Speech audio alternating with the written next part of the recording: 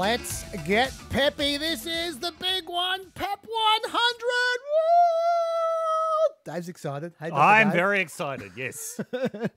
That's Dr. Dave Smith, of course, and this is our 100th episode. I was trying to think of uh, of some way to celebrate. I've got I've got a celebratory Slurpee here. That's exciting, lychee flavored, Dr. Dave. lychee fla- Lychee I- flavours. Lychee is a fantastic flavoring in cocktails. but not in Slurpees. I've never had a lychee Slurpee before, I probably I'm not going to put you on the spot afterwards. You but I know. recommend lychee cocktails. Really recommend them. that's what it sounds like. Yes. Um, lychee liqueur and um, uh, amaro. Okay, have have one on us, please. Uh, I'm having the Slurpee. You can have the cocktails. Uh, I was looking for a celebratory song. I couldn't think of anything that had hundred in it. I, I, got- Right. I, I thought maybe I'd go with 99 Luftballons for YouTube because we're missing. we're only up to episode 99 on YouTube. Yep. But uh, in the end, I thought the best way to celebrate is with the most joyous song. Well, in this part of the universe, at the very least. Okay. And what I'm referring to there, of course, is the Space Force song. I'm not sure if you heard this. This is real. I'm going to play it right now. What you're hearing underneath us is absolutely real. This is their official song. And what a better way to celebrate. yes, this is incredibly joyous. I. But just imagine if we just did this for a whole episode. Just listen to this. yeah. That'll go for 42 seconds. Only 42 seconds. Is there an extended version? It feels like it goes for longer. Yes. just- It reminds me of the Roger Ramjet thing. oh, yeah. I can see that. To me, I'm not sure if, if it, what it reminds me more out of either something from American Dad. Or, which of course is a parody of this kind of thing, Yeah. or the Police Academy song they always play. Right. You know, when they when when they, at the end when they're when they're winning awards and Yes, stuff. yeah. yeah. It's got a bit of that flavour to it. Yeah, because the march is a style of music that the Americans have really made their own. Yeah, And the key composer behind that was John Philip Sousa. I can't believe you know. We this. do not often get very musicological on No. Pep.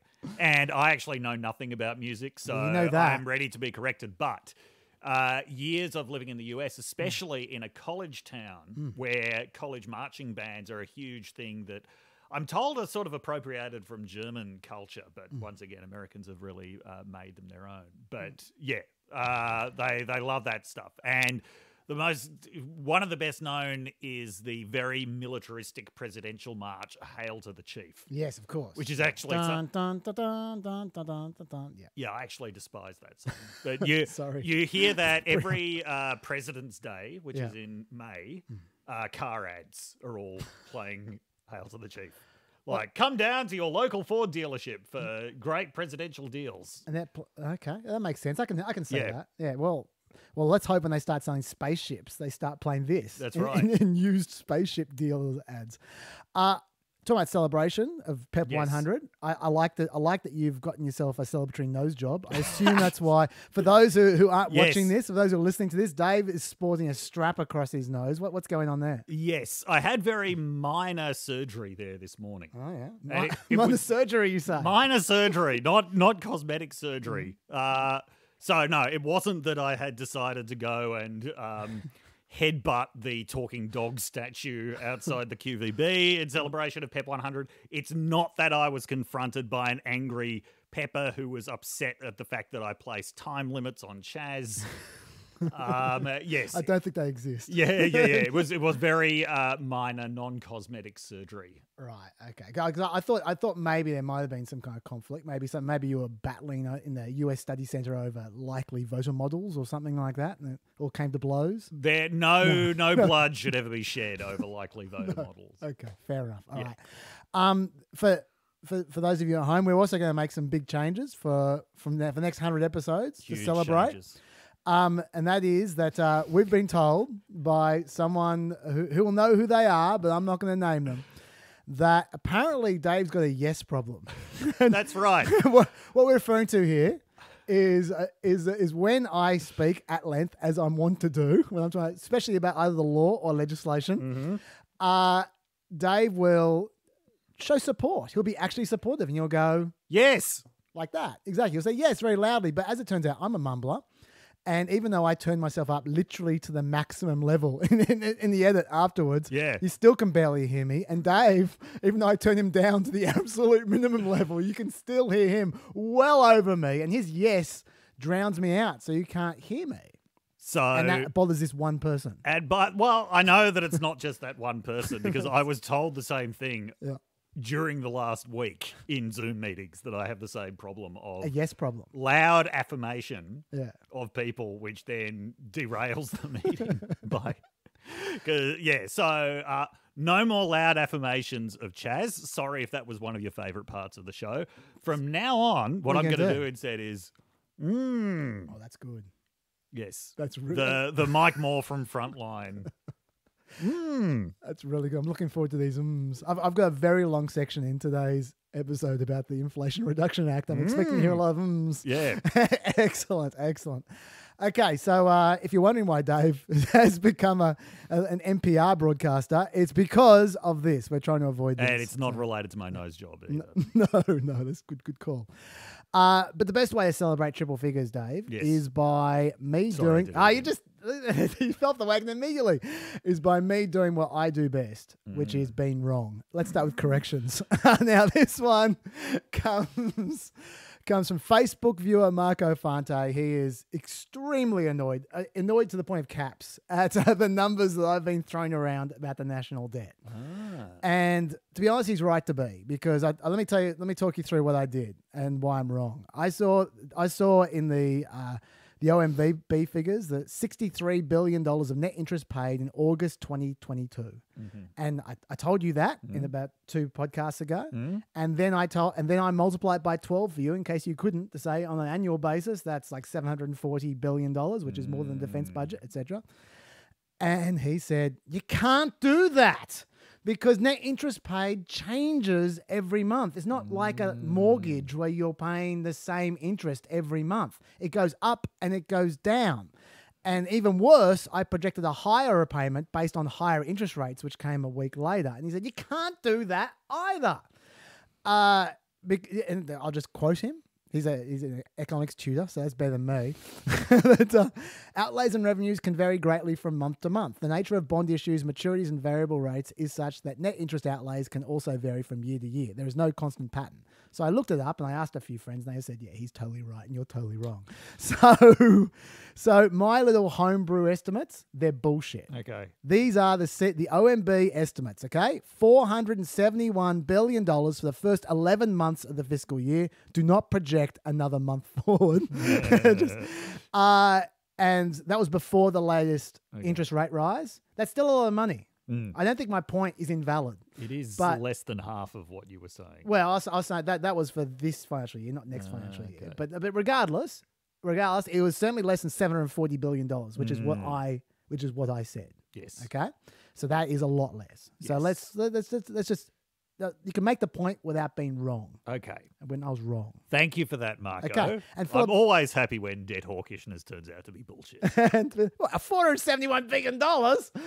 And Philip Diamond on Facebook, uh, he picked me up a, a couple of weeks back actually, but I just forgot to to put this out there. Which Mm-hmm. was I was talking about. I'm not sure if I was talking to you or, or one of our guests, Mm. the Groningen gas field in the Netherlands, which that is one was of the, to me. yeah, which is one of the great, uh, one of the Yes, biggest gas fields I in the world. Which I never heard of before. Yeah, well, it, it exists. It's one of the biggest gas fields in the world. The Dutch have control over it. Mm-hmm. And I I suggested that if things got really, really, I said the there's problem with it, which is Mhm. it causes earthquakes. Yep. Um, but if things get really dire, like if yeah, if they're if they're killing each other and cooking each other for, for meat and on Mm. campfires, Mhm. they can flick a switch and they can get gas, albeit earthquake earthquake ridden gas, if they need to. He made the point that it has another problem, which What's is that? that? it has the gas has a high amount of dinitrogen nitrogen in it, which means the energy value is low, so it needs special burners. That doesn't mean they can't use it. It just means that that's another problem. So Right. so maybe maybe they need to be cooking each other and I don't know, maybe having like a civil war with clubs or something before they crack open that gas field. I don't know what and, and it requires, but Okay. it's not as simple as flicking a switch. Right, yeah. More needs to be done. So I just want to get that out there as well. Any other corrections, anyone? Let me know. I will address them at the right top of the episode, right after I have a little lychee smoothie. Oh, it's, uh, slappy. Mmm. Scrumptious. Um, I'm not getting sponsored by the makers of Slurpees, by the way, if, if ABC's watching. Okay, updates. Uh, we got a student loan update.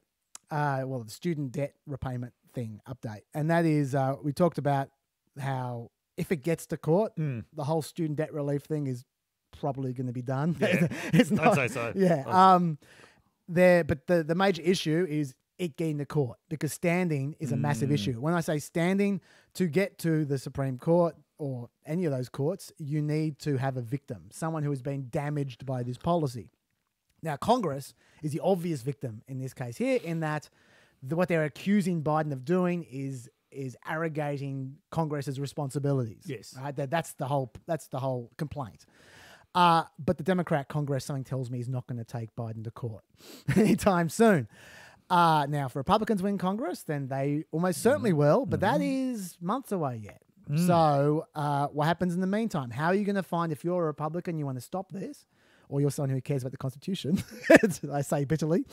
Um, and how are you going to find someone who is damaged by getting free money, which is what this Are is? They're going to claim that people who already paid their debts back are getting damaged by this? Nope, because that person that person is not being it, that that person does not pay an extra dollar. They they can feel it's unfair, Yeah. but but you need to That at least pay an extra dollar. That is very true, but I'm Yeah. trying to think like a Sure. Republican. Well, here. let me let, let me help you Yes. think like a Republican by citing a Republican. Okay. A fellow called Frank Garrison. Now he's a lawyer Mm-hmm. at the Pacific Legal Foundation, which is one of those conservative groups that that basically runs ideological lawsuits Mm-hmm. until they can get one up to the Supreme Court. So it's quite fortuitous that he happens to have a certain number of circumstances that might be relevant in this case. Yes. which is he's been paying his student loan off through an income driven repayment program, which is a little like our programs in Australia, where Yep. it's a percentage of, of your income. Now, this particular income driven repayment program forgives the balance of your loan after you've made a certain number of payments. He's basically his loan has gotten to the point where it will be forgiven under this program. Mm. He doesn't need to do anything more. He doesn't make, need to make any more payments. It will be forgiven, right? In Indiana, where he lives, if his loan is forgiven under this program, he will not have to pay any taxes, zero taxes. But under Indiana law, if it's forgiven by Biden's forgiveness plan, he will have to pay taxes on what's forgiven. He'll have to pay $1,000 tax under Indiana law. so he's saying, I'm being damaged because I'm going to be charged $1,000 tax for my forgiveness that I wouldn't have been charged otherwise if this, if this program hadn't been in place. Mm. So that's his damage, right? Now, obviously, this is disingenuous. He doesn't care about the tax at all. He's looking for a fig leaf in order to get to the court. But that's the stupid system we have, that, where you need a fig leaf before you can go to the court. Okay, so uh, as soon as Garrison filed that lawsuit, like literally the same day as he filed that lawsuit, the White House, which was fine tuning the program because it hasn't been finalized yet, decided the essential part of the program is that it would be an opt in program. so, so, so if you don't want to, you can just opt out of the program. That's right. So, uh, uh, so they told him, they told him personally they had nullified his lawsuit. Thank you very much. Uh, so no more damage. I thought you were going to say that he is claiming he was damaged by being forgiven because that's taught him bad, irresponsible habits with personal finance. No, but you should be a lawyer. Uh, anyway, uh, now uh, he's still. I don't think he's taking their word for it. I think he's still taking them to court. Whether the court accepts that or not, we shall see. Furthermore, a day later, six states sued the government because they said Biden's program will damage their state tax tax collections. Right. Because they take a certain amount of tax off repayments. So the um, that is uh, well that that may hold up. That may not hold up. We'll find out. That seems more likely to hold up. Yeah, we'll see. Either way, none of them actually matter. No. Like, like, like none of these people, either the states or the Frank, this Frank Garrison dude, really care. They just want an injunction for the next two months. Yes. assuming the Republicans take the House, because as soon as the Republicans take the House, they will take over. It'll be the most obvious court case, and they will presumably win. But we shall see. Um, so the, all they want is a two-month injunction, because otherwise, the Biden White House appears to be handing out this money in the next week or two. Mm. So that's the that's the bid. The bid is trying to stop that Yeah. until the Republicans take the House. We'll see what happens. Anyway, that's where we're at. Okay. I should say as an aside, this whole dance is ridiculous. The Mm-hmm. standing dance. It's the same as that stupid Texas law. Remember HB six? Oh, yes, I the abortion that. law, where Yes. where where you couldn't like it, because of the, the weird standing rules. Like it you, they couldn't find a way to sue Yes. Texas, even though this law was clearly against the Constitution. It was Mm. clearly making abortion, Yeah. Which at that point in time was constitutional according to the Supreme Court. Mm. Uh, that was they were clearly making it illegal unconstitutionally, but no one could find a way to sue them. And so my view is they should just get rid of standing. Mm. Like the Supreme Court chooses which cases it hears anyway. Yeah. So you should just be able to apply. And anyway, but uh, that's that, that's aside. Mm-hmm. Let's talk about Ukraine. That's because there's plenty of Yes, updates there. there on are Ukraine. updates, You- yes. Do you want to kick us off? Yeah, well, I keep coming back to this issue of the draft. Yep. Because it is, I think, so politically important. And so we noted last week that at that point Putin had just announced a draft. Yep. In the last 24 hours, he's gone on TV to apologize for things that have gone wrong with the draft. So what's he apologizing for? So, among other things, uh, the age limit has apparently been ignored Ignored. a lot, a lot of the time. okay, yeah. Um, uh, yeah, and other rules around who is actually uh, eligible have been ignored. Now, the way that Putin is framing this, he's putting the blame on the military. And certainly so far for Putin, but also for his allies, because his allies need a way to voice their discontent without directly bl- blaming Putin himself. So there's a lot of blame being focused on the Russian military at the moment.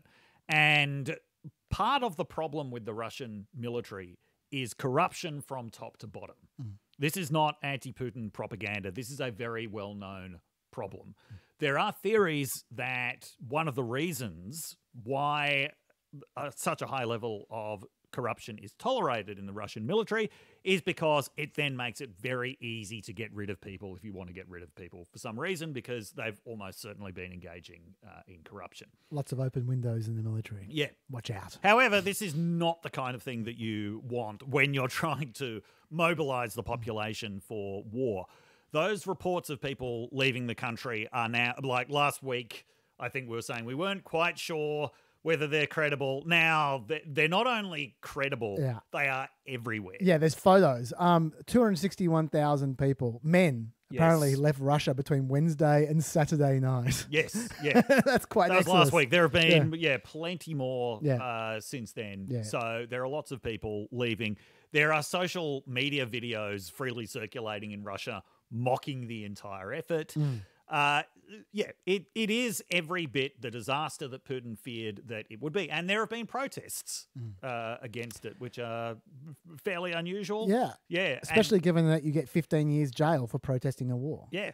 And so the fact that he feels the need to ac actively apologize for the things that are going wrong Hmm. in the draft suggests that it is not going very well. I should say that 2,400 demonstrators have been were arrested in the first week after mobilization. So, and like I said, 15 years jail for public opposition to the war. significant. Yeah. Also, when we did this last week, had the Oh. UN General Assembly taken place yet?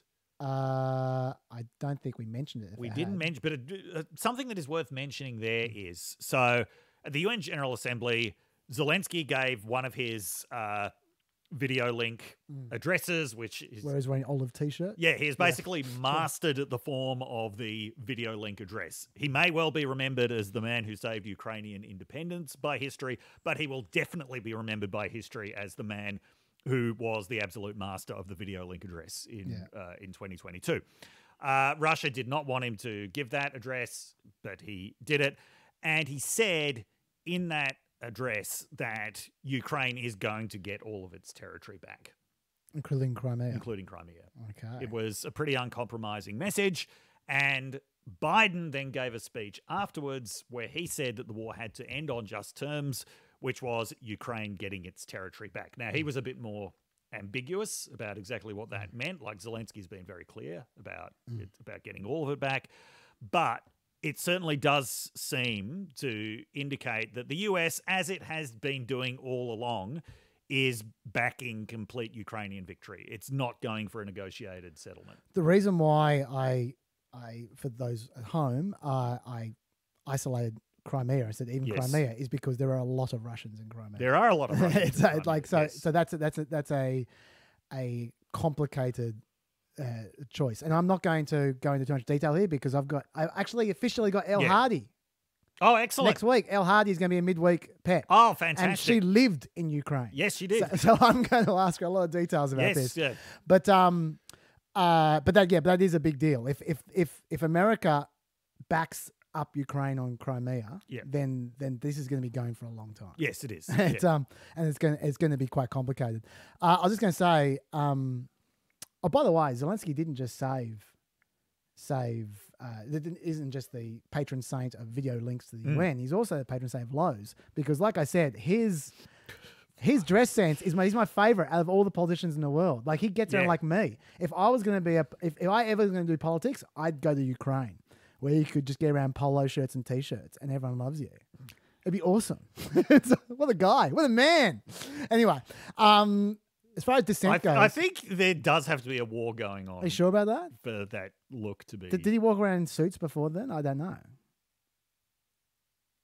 There's some homework for you, Peppers. what did Zelensky wear before the war began? And how long did the war have to go on before he before he cracked out the polo shirts and t-shirts? What a champ! Anyway, um, as far as the dissent goes, the the thing, the interesting thing about Russia is that they it has been massive dissent. As you said, I'm not surprised Putin is back down because even even the editor in chief of RT, like this is the Yeah. Russia, like that's a government, that's a government news agency, right? Yes, yeah. The editor in chief was tweeting out incorrect mobilizations. A 63 year old with diabetes, a 35 year old with a spinal fracture and artificial vertebrae, etc. She was she tweeted out this, Yeah. long thread filled with, and she's his number one cheerleader. So you go, Yes. wow, he's. He's got to respond. But the other thing is, Russians have a unique way of protesting since they aren't allowed to protest in the street. They protest by blowing up uh, administrative offices. And 17 of them have been blown up in the uh, last week. And, and a recruiting officer was shot in the head. So um, yeah, so they have their own way of showing dissent. Yeah, pretty clear statement. Yes. uh, another thing that we have to mention that we have touched on before is although we talk a lot and the Western media talks a Mm. lot about the kind of Western alliance uh, against Russia, it's also worth mentioning that Russia really appears to be losing ground in Central Asia. So among countries that have been fairly staunch allies of it, like Kazakhstan, Yeah. um, it's they they are really vocally against what Russia is doing in Ukraine, which is another sign that Russia is not in a in a position of strength. Kazakhstan's taking a lot of these fleeing Russians as well. Yes, it By the way, do, do you have a view on whether countries should be taking the Russians or not? Because like Belarus, Estonia, they're not. Hmm. Poland, they're not. I can kind of understand why Belarus and Estonia wouldn't want to, given they were oppressed by Russia until quite recently. Yeah. And uh, and also, um, Well, Belarus wouldn't because Lukashenko is Putin's ally. yeah, He wouldn't want Russian deserters. this uh, but no, no, he. Oh yeah, yeah, of course, yeah, good point. Yes. That's right, that's true. Yeah, but also on top of that, uh, uh, like from a okay, le- leaving aside that, like let's take Estonia then. Yeah. um, if you're a country right next to Russia, you probably don't want to have a huge number of ethnic Russians in you, given what's going on in Ukraine at the moment. If you know what I mean. Possibly. like there might be a special military operation coming your way in a couple of years' time if you have too many ethnic Russians. I, I mean, the, having said that, it seems to me a good strategy to try and take as many of these Russian fleeing Russians as possible. Surely it will compromise their Mm. Yeah. their draft and it will compromise Putin's propaganda as well. You think least. so? Anyway. I think it's for every country to make their own decision. Oh, I'm not preaching. I'm just saying. Germany's taking them, by the way. Yeah, of course and, and Ukraine certainly are. yes. Um, but the other area, okay, that's one. That's one. That's one problem with the draft. But uh, Yeah. I actually think there's a bigger problem with the draft. I mean, look, that's a pretty big problem. The fact that Putin needs to apologise because it's so shoddily uh, administrated. But the other problem is the whole existence of it in the first place is a problem because, and we did touch on this before, but I want to go into more detail. Um, they don't. They they don't have the facilities to use a draft. Even when you get the people, Mm, they don't know what to do with them. And I, what, uh, let me tell you what I'm referring to. The last time I was on mobilization was 1941. They haven't done it for a while, right? And the Russian military system is not designed to to take a big, huge influx in people because they tried to go full voluntary military like America did like 15 years ago, found it too expensive. And so now they've done this hybrid of volunteers Yes. and one year conscripts since 2008. The problem is in one year you don't have a time you don't have time to learn much of anything. You can't become competent in a year. Usually you need at least 2 years to become competent, right? And so you have the people they're drafting now are they well the people they're supposed to be drafting now as opposed to 63 year olds with, with diabetes are supposed to be these one year guys, Hmm. like the guys who weren't part of the army. They did a year and now you get them in. But if you think about it, anyone under the age of 32 Hmm. is going to be a one year and not a two year because Hmm. that's when they went fl- flick from two year to one year, right? So anyone who's young enough to draft at this point in time Hmm. is going to be undertrained. So they need to train. But they don't have any training facilities because they because they at the moment they are overrun in, in in Ukraine. They don't have the resources, and so there are just endless clips being flooding YouTube at the moment and, and Twitter and so forth of Russians saying, I have had no training. I'm going to Kherson in two days' time. Hmm. And like the and and some of these people have been tracked down too, identified by hmm. news organizations because they go, Oh, this is Ukrainian propaganda. No, real Russian. They found the Russian. Hmm. Right. So the so I mean that that if you just drop someone into a war zone with no training who knows what they're doing, they're more of a problem than than a benefit. They're just getting away. Like and so the uh um and who's going to command these people because they because they've lost all the commanders as well, right? Um and on top of it, you're doing well with the M's, by the way, Dave. I'm liking it. the next hundred are off to a flyer.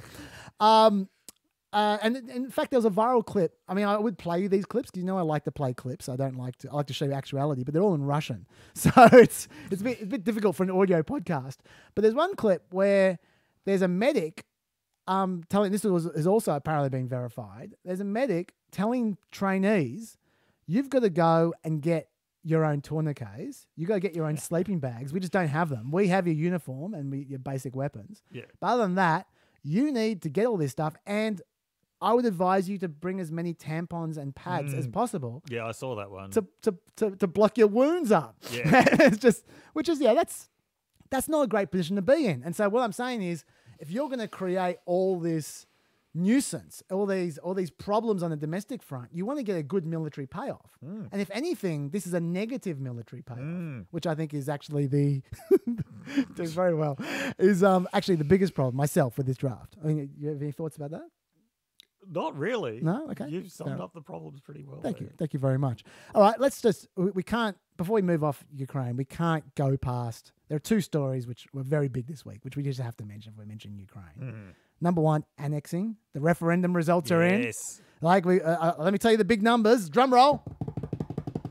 In Zaporizhia, 98.19% in favor of Russia. In Kherson, 96.97% in favor. In Donetsk, 97.91%. And in Luhansk, 97.82% in favor of reunifying with Russia.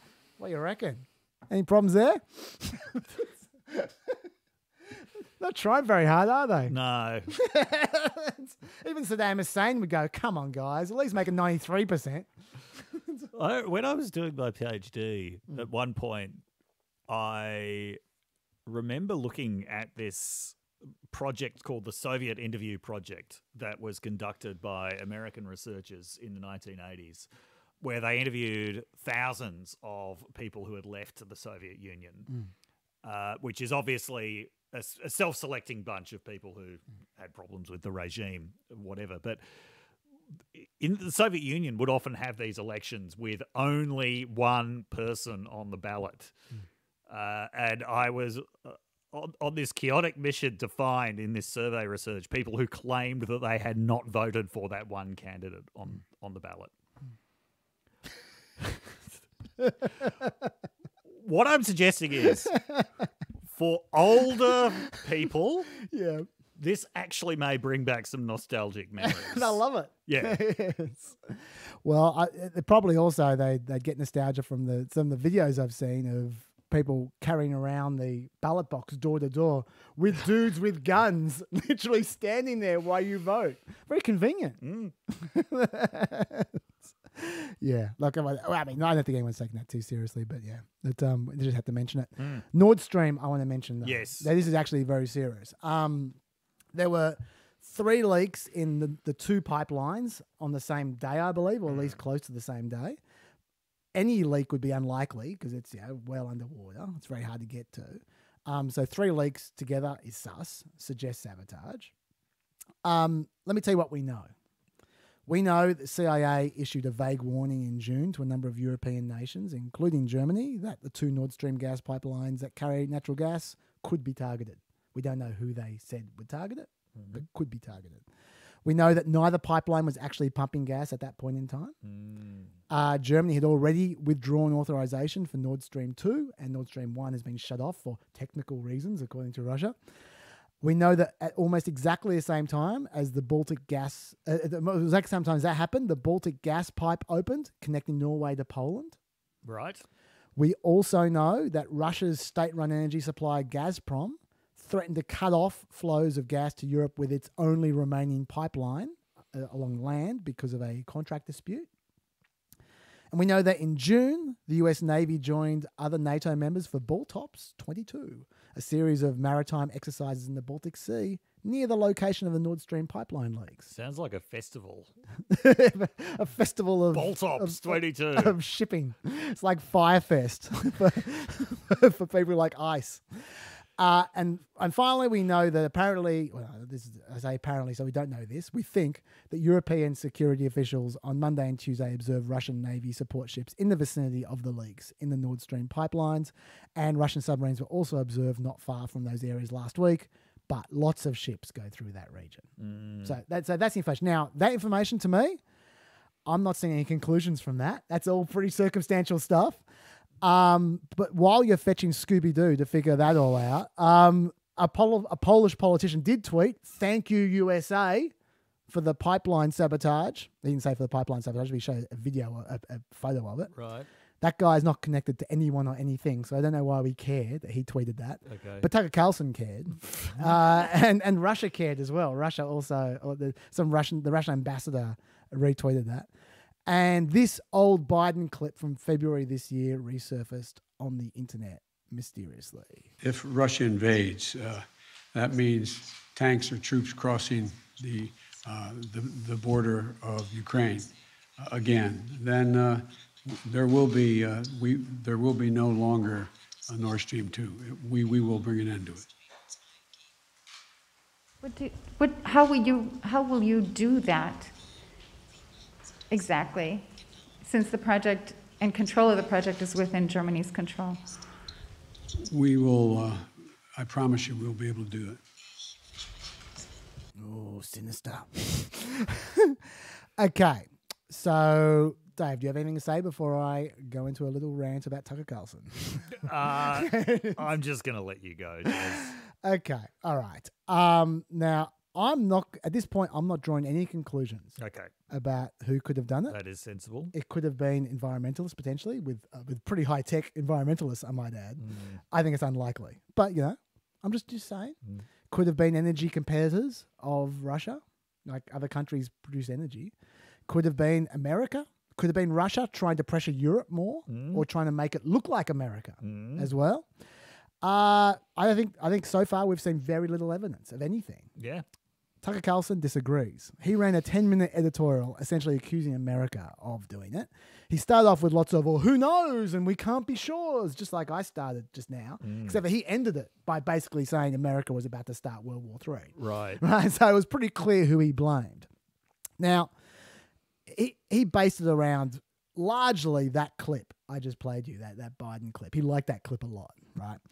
Um, the, uh, the thing I like about this is normally Tucker Carlson will portray Biden as this totally senile, gibbering fool. Yeah. But now, using that clip as primary evidence, Biden's an ice cold killer who drops clinical threats six months out before delivering the killer blow. But this is the most telling way you can tell Tucker Carlson's reaching. This is what he said directly after he played that clip.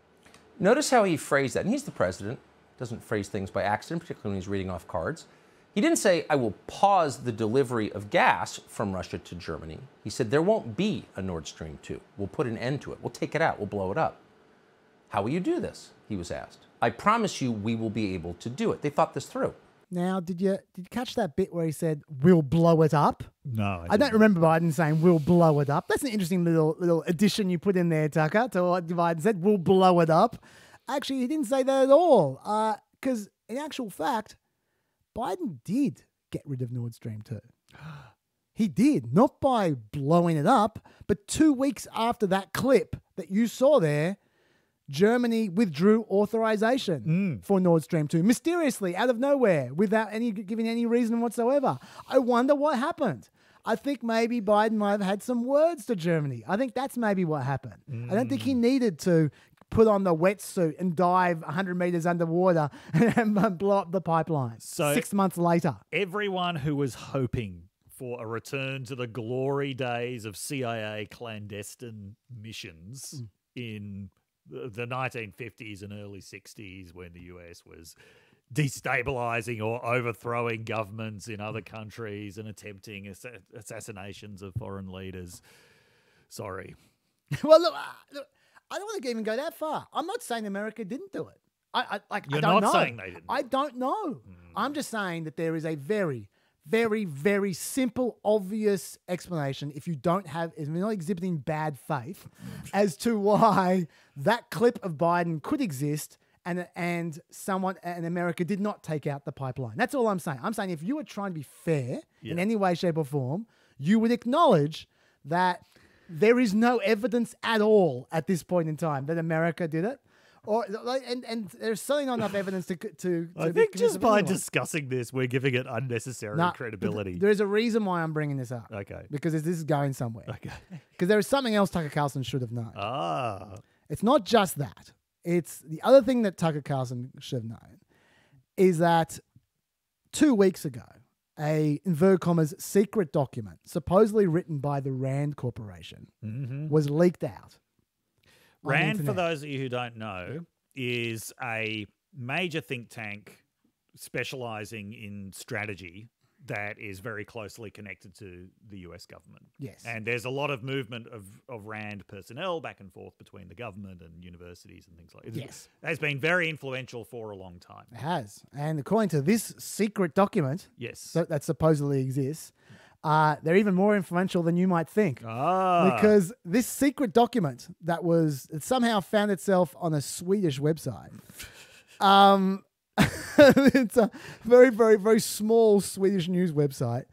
Um, this was apparently this top secret document was sent to the White House Chief of Staff, the National Security Advisor, the Department of State, the CIA, the NSA, and the Democratic National Committee of all of all places. Because of course they just send these documents to all to just all all together like that. Um, and what Ju- is just to the public email addresses. yeah yeah yeah. of. Yeah. And what this and what this document said was it was a plan, a secret plan to help the Democrats win the next election by making Germany more dependent on America. Now I don't know how that works. I don't know how that works. How, how that translates to votes, I'm not sure. But either way, they were going to do this, make Germany more dependent on America by ginning up a war in Ukraine. This document was from supposedly January 2022. Let me quote the document. The only feasible way to guarantee Germany's rejection of Russian energy supplies is to involve both sides in the military conflict in Ukraine.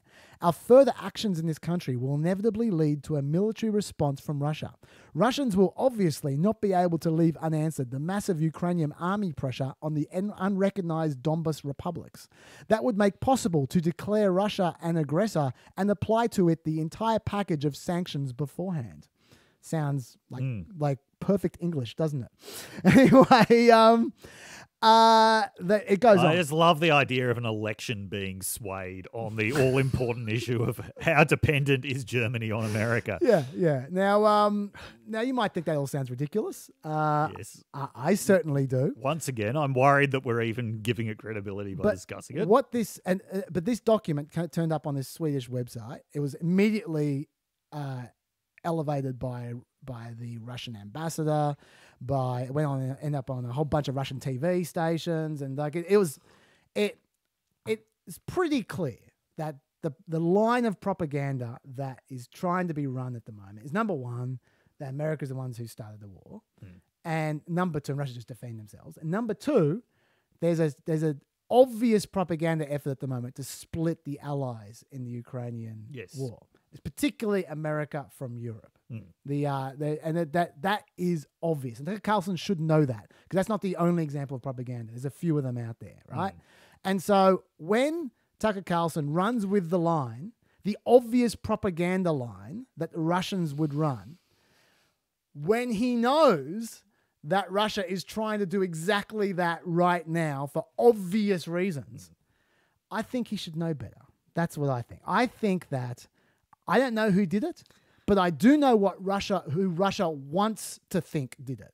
That much I know, and for for basic propaganda reasons. And so you shouldn't just spew obvious Russian propaganda unless you have good reason to, to think that it's true in this particular case. And Tucker Carlson had no reason because there's zero evidence. And this is not the first time he's done this. He has consistently been running with Russian propaganda for the entire Ukrainian war. I played, I've played a few examples on this podcast before where, uh, where literally as they were being overrun, he was saying Russia were winning the war like about, about three weeks ago. I think you might be overestimating the relevance of truth to Tucker Carlson.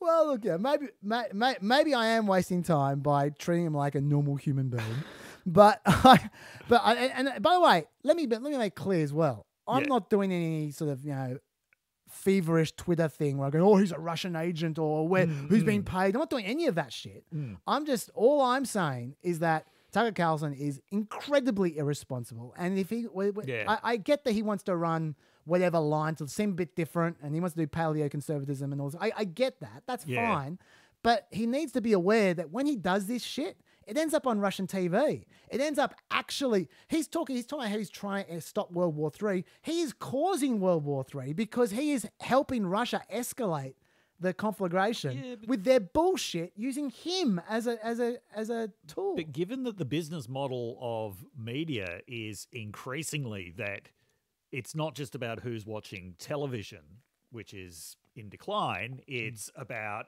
where is this clip going to end up hmm. and how many people are going to watch it around the world across various platforms. Hmm. Why wouldn't he be saying this? Well, he's getting lots of ra- ratings on Russian TV. That is true. Yeah, but he, I mean, he's uh, that propagation across multiple platforms is the business model now. Yeah, maybe, maybe I'm not. Look, I think a lot of this comes down to, and this is my 100th episode book recommendation, Oh, oh, oh, oh, it's a big one. which. I can't believe I haven't made before. It is Go Harry. Frankfurt's classic on bullshit. okay. Right. So it's the distinction between lies and bullshit. Yeah. Frankfurt, who's a philosopher, I think he originally wrote this book in 1986 or this essay in 1986, but it was reissued around 2004, says that a lie actually pays some kind of tribute to the truth because the liar recognizes the power of the truth and is deliberately uh, is, is deliberately contradicting it for some purpose. The bullshitter does not care about the truth value of what they are saying. What they care about is the appearance uh, produced by their bullshit. So the for, the for the bullshitter, the truth value is irrelevant. If something they turn to say turns out to be true, then they're fine with that. Uh, if it turns out not to be true, they're also fine with that. The truth is completely irrelevant, as opposed to the liar, for whom the truth value is actually very important. It's important for them to negate it. Uh, Tucker Carlson is firmly in the realm of bullshit under this uh, under this model. Yep. Yeah. Fair. Yeah. Okay. As you say, you don't have to go, you know, Russian agent, Yeah, uh, yeah, yeah. whatever. Yeah. no, he's just a bullshitter. Yeah. No, he's definitely bullshit. Uh, yeah. Not very helpful. One, And he always has, but since, since it's our 100th anniversary, Yes. let me share Yes, please. a reminiscence. The first time I saw Tucker Carlson on TV, In a bow tie. in a, he was in a bow tie. I haven't forgotten that, Tucker. I had just arrived in Michigan. This would have been in late August Mm. 2004. And in my delightful extended stay motel room, which I was staying before I could move into my apartment, I turned on CNN, mistakenly thinking that it- would have something uh, edifying to offer. And it was this show called Crossfire, Hmm. which used to be on with Tucker Carlson arguing with Paul Begala. Yeah. Just the most massive waste of, of time in history. I think they shut that down after Jon Stewart had a Yes. go. I thought that's where you were about to go. Uh, yeah, Jon Stewart had a go at them For hurting America. for hurting America. Jon Stewart in one of his wild swings between uh, aloofness and earnestness. Little did he know what Tucker Carlson was going to do. yeah, yeah. So yes, as you pointed out, back in those days, Mm. Tucker Carlson wore a bow tie. I think I might have told this anecdote before on Pep, but okay, so this is one for the Mm. long-time listeners then. Um, and both George W. Bush and John Kerry had been campaigning in Pennsylvania that week, and both of them had gone through the election campaign ritual of eating a Philly cheesesteak. uh, one of Philadelphia's most famous delicacies. Now, you'd think this is a pretty simple thing, pretty hard thing to fuck up, but no, both of them managed to fuck it up. So, John Kerry made the unforgivable faux pas of asking for his with Swiss cheese. Ah, Yeah, it could only been worse if it was French cheese. yeah. yeah. so he asked for it with Swiss cheese. That immediately, you know, makes him unelectable in the eyes of many people. Uh, George W. Bush, on the other hand, simply lied about ever having had one in the first place. Right. Yeah, he claimed he had one. He hadn't. So this leads to a lengthy debate between Tucker Carlson and Paul Begala about which is worse, Kerry's elitism or Bush's lying. About cheese. Yeah. Yes. And uh, yeah, that such was the elevated American political discourse Yep. at the time. Yeah. But yeah, so Carlson in those days, he was this bow tie wearing, kind of proudly elitist uh, defender of George W. Bush. And there, he has since then gone through a very sort of typical ideological odyssey. He's he's had the station of Ron Paul uh, at, at one point, and he's now sort of ended up at the station of just pure bullshit that hap- happens to benefit Vladimir Putin. Yeah. Yeah.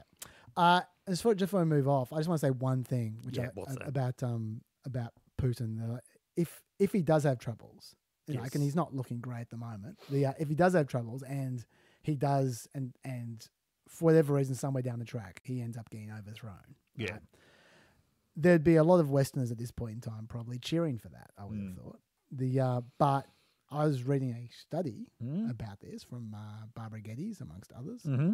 Barbara Geddes, excellent uh, comparative political scientist, one of the sort of, uh, really seminal figures in uh, comparative politics, professor at UCLA. Yep. And what she noted is that since World War II, less than 25% of autocratic breakdowns lead to democratic transitions. Mm-hmm. Over 75% lead to the perpetuation of the autocracy under a new leader.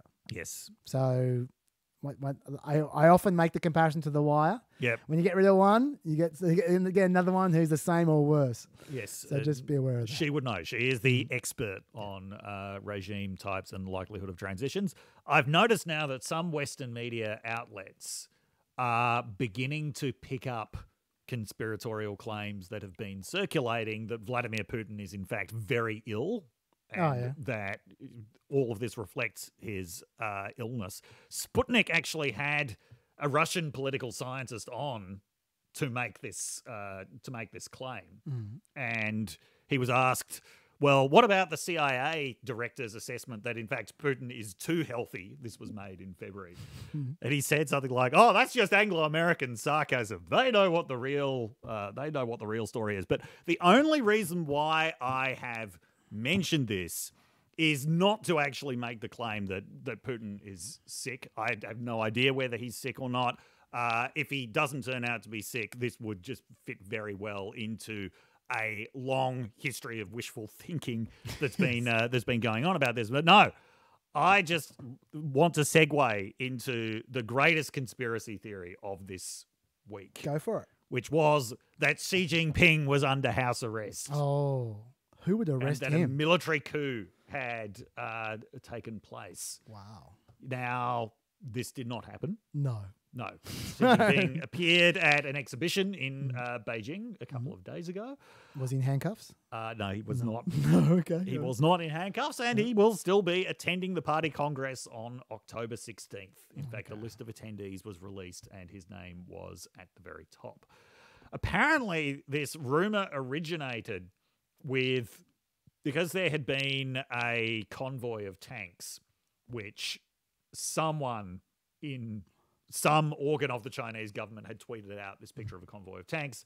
This was then repurposed by uh, mischievous actors as saying this is uh, this is a coup. Oh, okay. This is a coup in uh, in progress. because tanks exist. There was also, yeah, uh, Yes. uh, old footage from 2013 or 2014 of explosions in the city of Tianjin. Uh, what, sorry, I've mispronounced that, Yeah. but yeah, um, that that was also repurposed Oh, okay. as uh, as saying there is a coup in progress. Just people aren't trying very hard anymore. No, they're they really not. While you're running hot, Yes. uh, I know you want to talk about the Electoral Count Act, which I was surprised by. That's usually the kind of thing I need to wedge into this Mm. podcast. So why don't why don't you go for it? Yeah, so the Electoral Count Act, which actually looks pretty close to passage at this Yeah, point. yeah. At least Yeah. the Senate version is. Yes, yeah, yeah, Yeah. So there are 11 Republican senators Yep. uh, 11. signed on to And- this now. And McConnell. yes, Yeah. there would still need to be reconciliation with the House version, though, which I'm not I'll talk you through the differences Okay, in a yeah, second. yeah, yeah. but You can uh, you can talk us through the differences. There have been some amendments which I think have been good amendments to this because in the original version of it, it would have given state governors a lot of power. yeah. Yeah, uh, and then I think they might have realised who some of the people running for uh, gubernatorial positions were, and they decided instead to put a lot more power in the hands of the courts. Yes. So this makes provisions for uh, judicial review of uh, gubernatorial certification. It one of the most important things was it closed a loophole that would have allowed state legislatures to declare a failed election. Yep. It makes it very clear that the role of vice president is purely a ministerial one. That's right. That is all the only responsibility that they have is literally for opening the envelopes or however they So just to be clear, the Mike Pence situation could never happen again. Yes, Yes, yeah, yeah, yeah. Mike Pence does not have the authority Yeah. to, or, or Kamala Harris would not Yeah. have the uh, or authority to overturn it. So these are all important things. I can see why a lot of Republicans have signed onto it Mm. because they do genuinely want to rule out uh, the kind of nonsense that we saw uh, on January sixth. Even one of the uh, one of the refusers actually signed on to this. Which one? I didn't know. Uh, the Mississippi senator whose name oh, escapes me. I'm not sure. I'll look it up later on. That's yeah. fine. Anyway, uh, yeah. Yeah. Uh, Ted Cruz still hasn't. No, yeah, he said it was a bad law. It's about Donald Trump, he said. And you're right, it is about Donald Trump. If Donald Trump hadn't Yes, pulled this it is absolutely about Donald that law Trump. would not be there. It is. A, yeah. But in this case, I'm I'm grateful for Donald Trump for Yeah. pointing out a loophole in the law that can then yes. be closed. Uh, Josh Hawley, who has not committed one way or the other, said yet said this law has worked really well for 150 years. Until you came along, Yes, Josh. yeah, until you came along, gave a raised fist gesture to the crowd and tried to vote to overturn the election. Yeah. Even after being pursued through the halls of Congress by a raging mob. Yeah.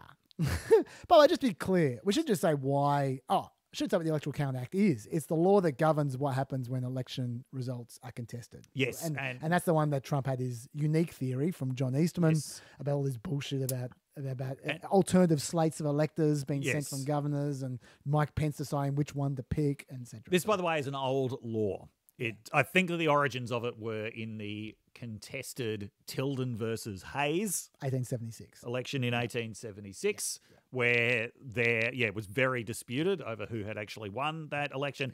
The ultimate outcome of that was essentially that Republicans got to win uh, in exchange for withdrawing federal troops from the South.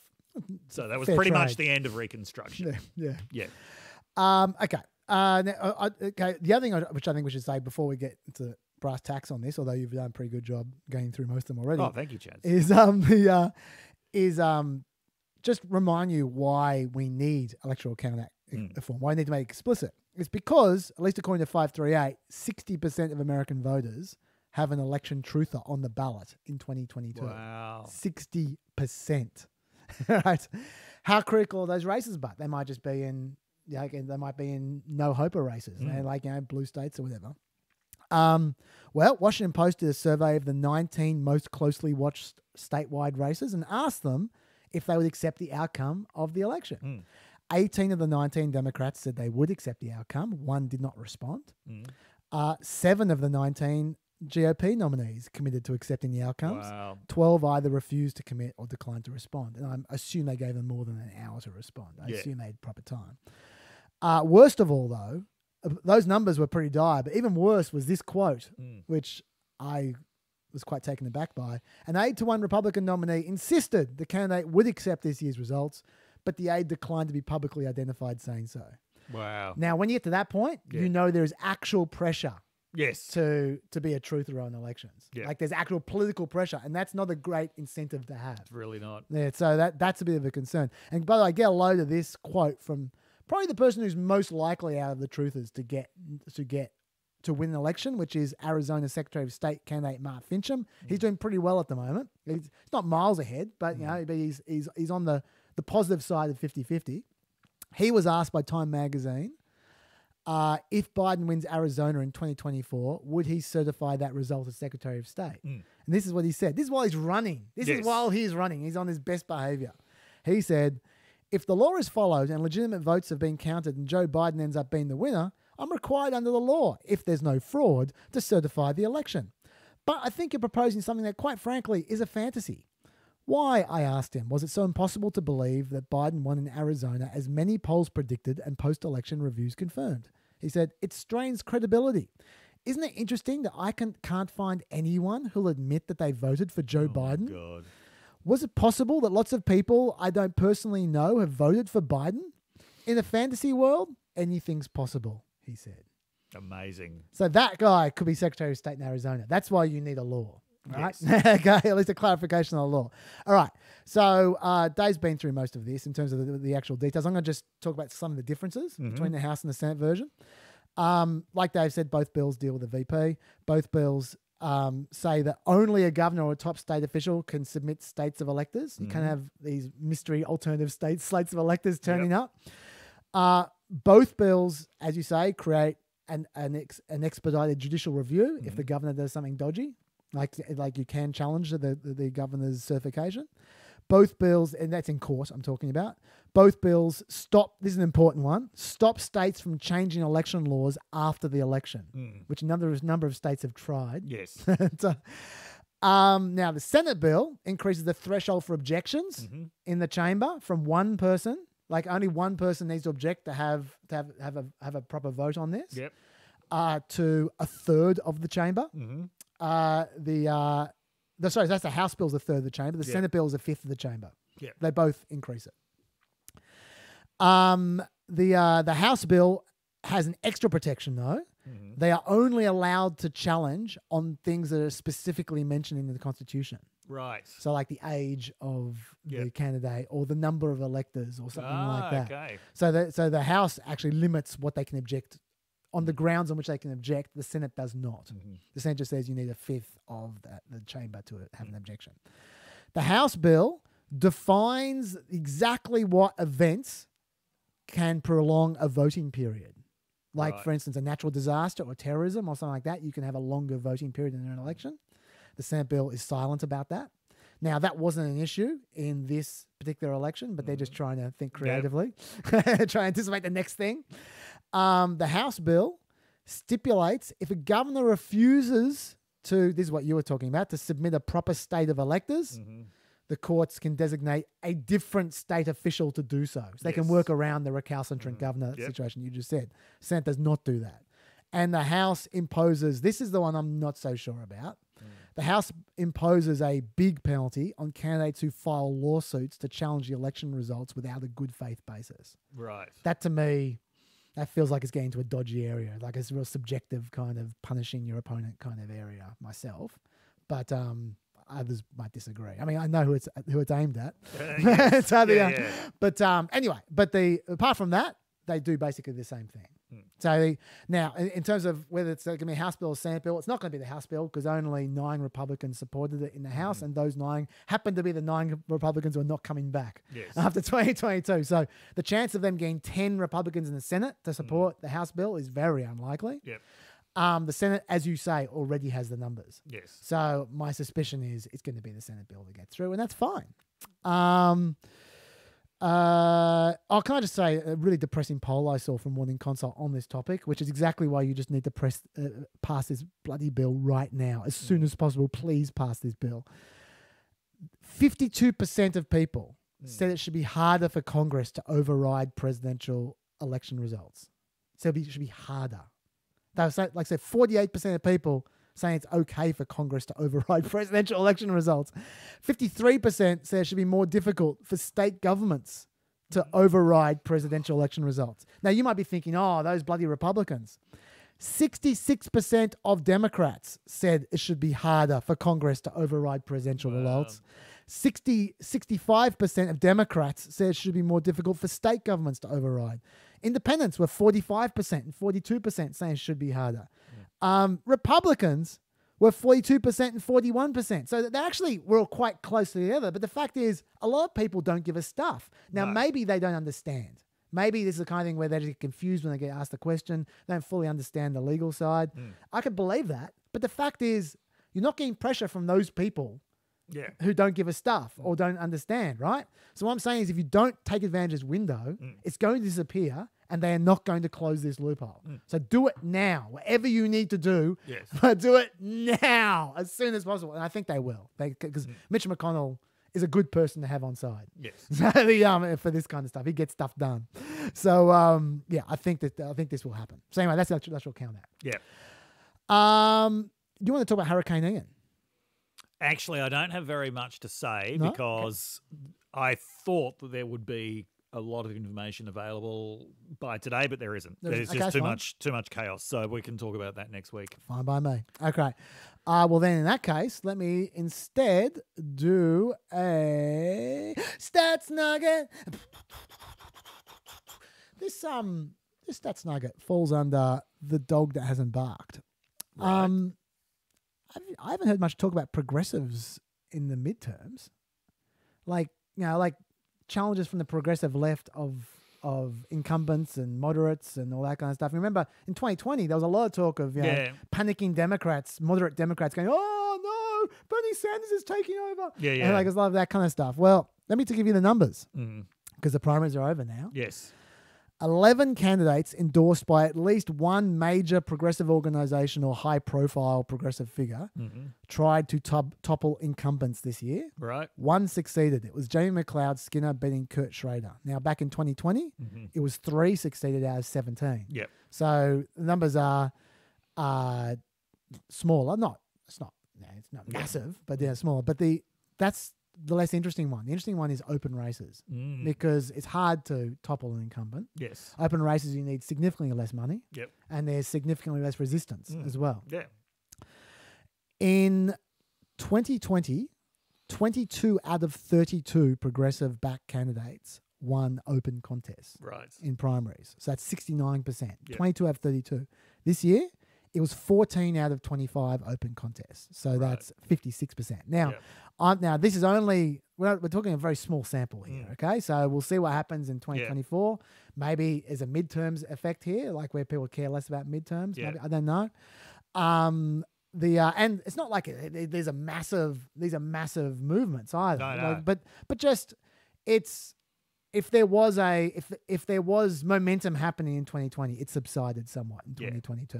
2022. Um, do you have any theories about that? Or Look, even if it is a smaller number, it'll still be enough for centrist Democrats to blame uh, progressives for losing the House. yeah, I'm sure that that would be, that would be the case. Um, uh, I should say as well, by the way, even on those numbers, if you keep on doing that every single election for Yeah. for a number of years, you will Mm. take over the party anyway. Eventually, it just take Yes, yeah, just yeah. take 20 years to do it. But, um, but anyway, just just just since no one ever talks about this anymore, I just I just saw those numbers. Like, That's interesting. Making making a nugget. All right, this is the time when uh, if you're not interested in in detail, it's time to get a cup of Milo because this is my time to shine. Um, I want to talk about the Inflation Reduction Act, Dave. Okay. it's uh, this is uh now now for those who this is gonna go on for a little while, but but please, Dave, jump in because otherwise I'm gonna be talking. If you if you have anything to say, jump in at any point in time. okay. Okay. This is for those who don't even know what the Inflation Reduction Act was. This happened while we were away. This happened a few months back. It was the husk of the Build Back Better bill. If you recall, that was Biden's first big bill where he was going to have everything. It was like with the free pre-K and the free childcare and all this kind of stuff. Uh, heaps of goodies, and Manchin and Sinema just stripped it like locusts. they, they just, they just fed on it, right? And it looked like it was dead. It looked like there was nothing. But but but Schumer negotiated with Manchin and a few other negotiations, and- and Biden jumped in there for, for a little while as well, and they finally got something, right?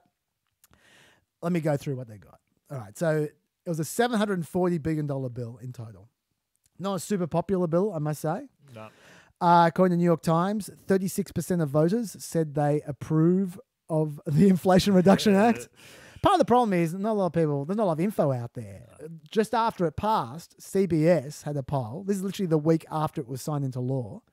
They found 34% of registered voters said they had heard or read a lot about the, the law. Hmm. And over and New York Times found over a quarter said they hadn't heard about it at all. Yeah. So this is why I'm addressing it right now. You won't be. You will be in the 34%, Peppers. This is my promise to you. Uh, okay, what's in it? Let's start with inflation, given it's the Inflation Reduction Act. Yes. Okay. Now, Biden claimed, quote, the bill was the single most important legislation passed in the Congress to combat inflation and one of the most significant laws in our nation's history. Don't know about that. it uh, supposedly reduces the debt by $305 billion over 10 years. By contrast, the truth, um, the Wharton School of Business conclude the bill's impact on inflation will be statistically indistinguishable from zero. CBO says its effect will be negligible. The numbers are completely dodgy. Let me just go through this briefly for you. 93% of inverted commas savings are in the last five years of the 10 year window, which means we are not going to see them because obviously in five years' time, we will we'll have other legislation in the meantime.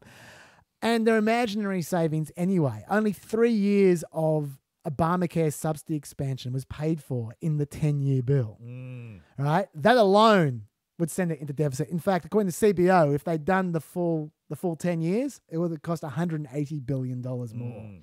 Okay, so that in itself is just complete bullshit. There, there goes most of your inverted commas surplus straight away. Secondly, this is the biggest dodge of all. I can't believe this. And this is hard to explain, so bear with me, but you will agree this is really, really dodgy. And this tells you all you need to know about why politics sucks in America. Pharmacy benefit managers, you may not have heard of them, you probably haven't. They're basically middlemen in the American healthcare system. I'm not going to go into detail because it will bore you.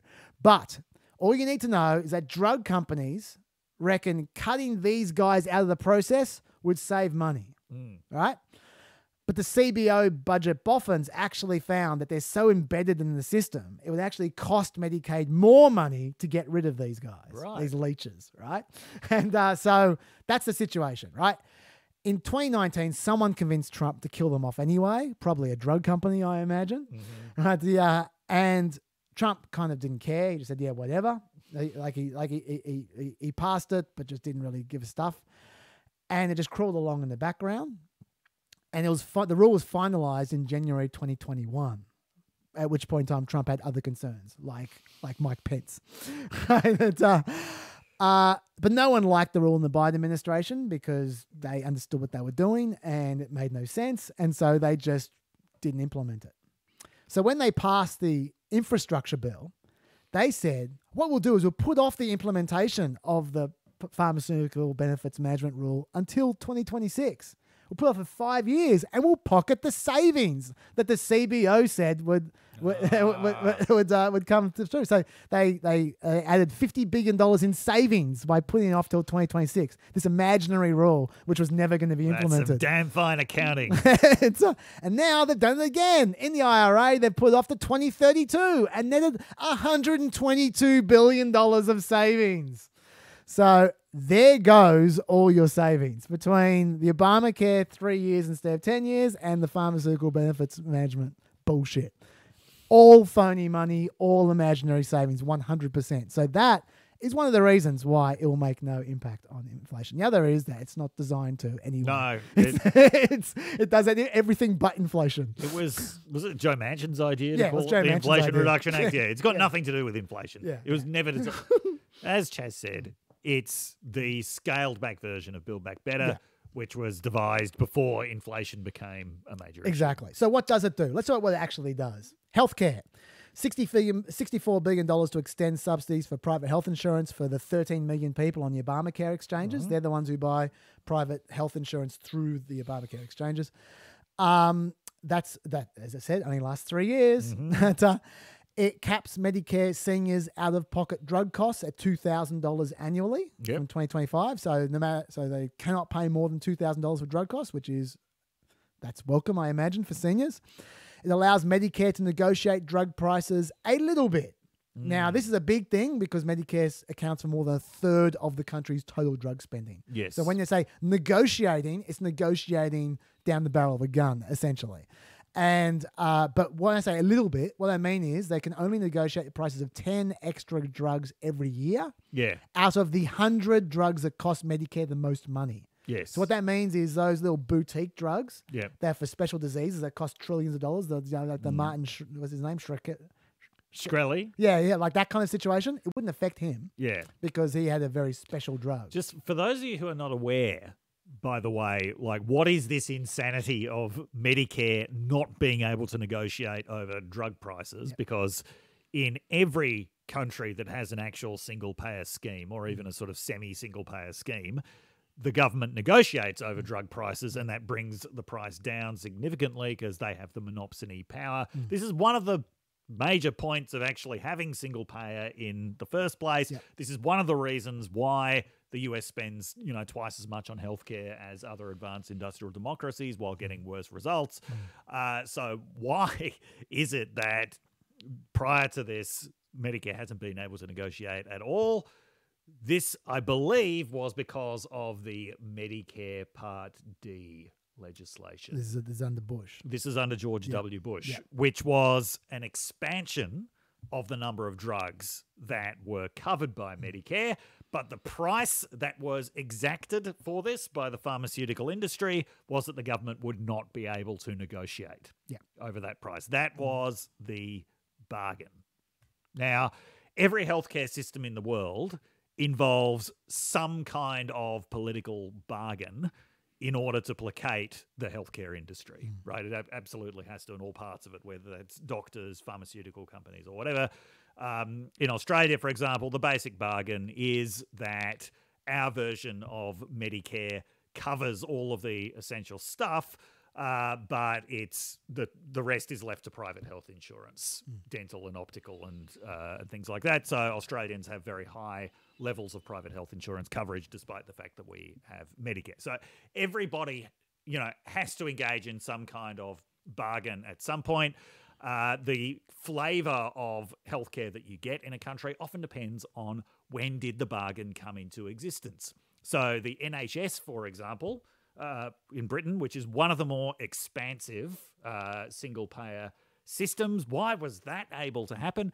It's because it came into existence right after the Second World War.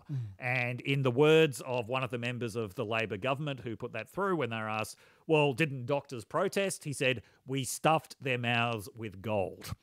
because at that point, really only the government had the money Yeah. uh, to uh, yeah to to pay doctors. So the fact that the NHS was able to come into existence then is why it continues to be such an expansive system and has survived that, despite the fact that since then conservative governments have been in power something like two thirds of the time.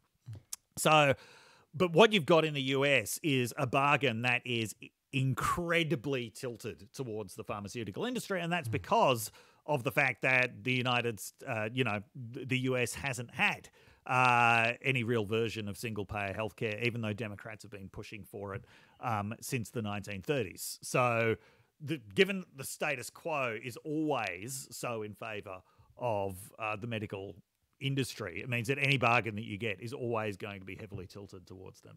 Yes. Well, in this case, they they're only chipping away at it because, as I said, only ten extra drugs every year they can negotiate out of the hundred drugs that cost Medicare the most money. The, there's also exceptions for drugs that have generic competition or drugs that are less than nine years old. So there's only so many drugs that can do that. Yeah. But anyway, um, it, they would also That's drugs that were invented less than nine years ago, not Yes. not Oh, yeah. drugs that have been in your medicine cabinet. I think I've got some of them.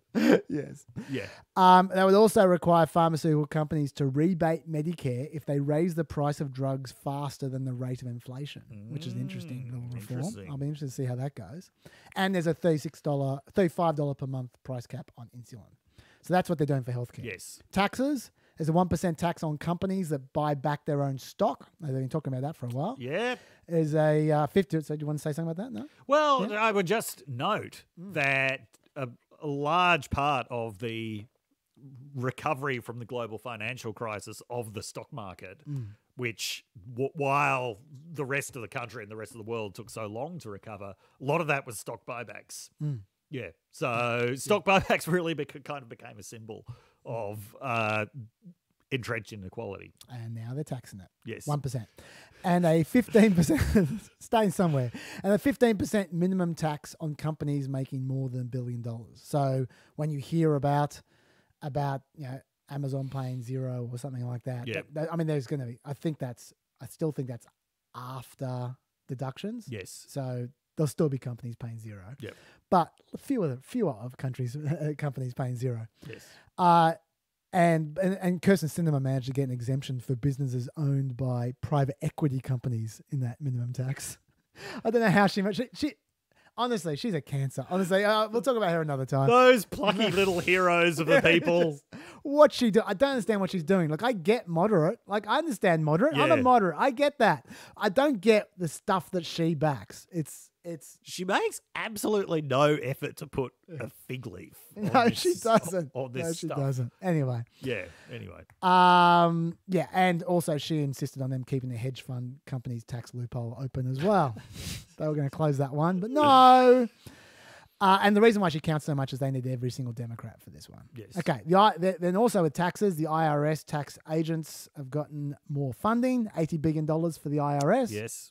There's good reasons for that. At the moment, the IRS has been starved of resources to go after rich people for decades. Um, obviously, rich people are good at hiding their tax evasion, and they they'll challenge you in court. So you need money to take them on, and the IRS has been deprived of money. So the IRS have learnt to go after low hanging fruit instead, which is poor people.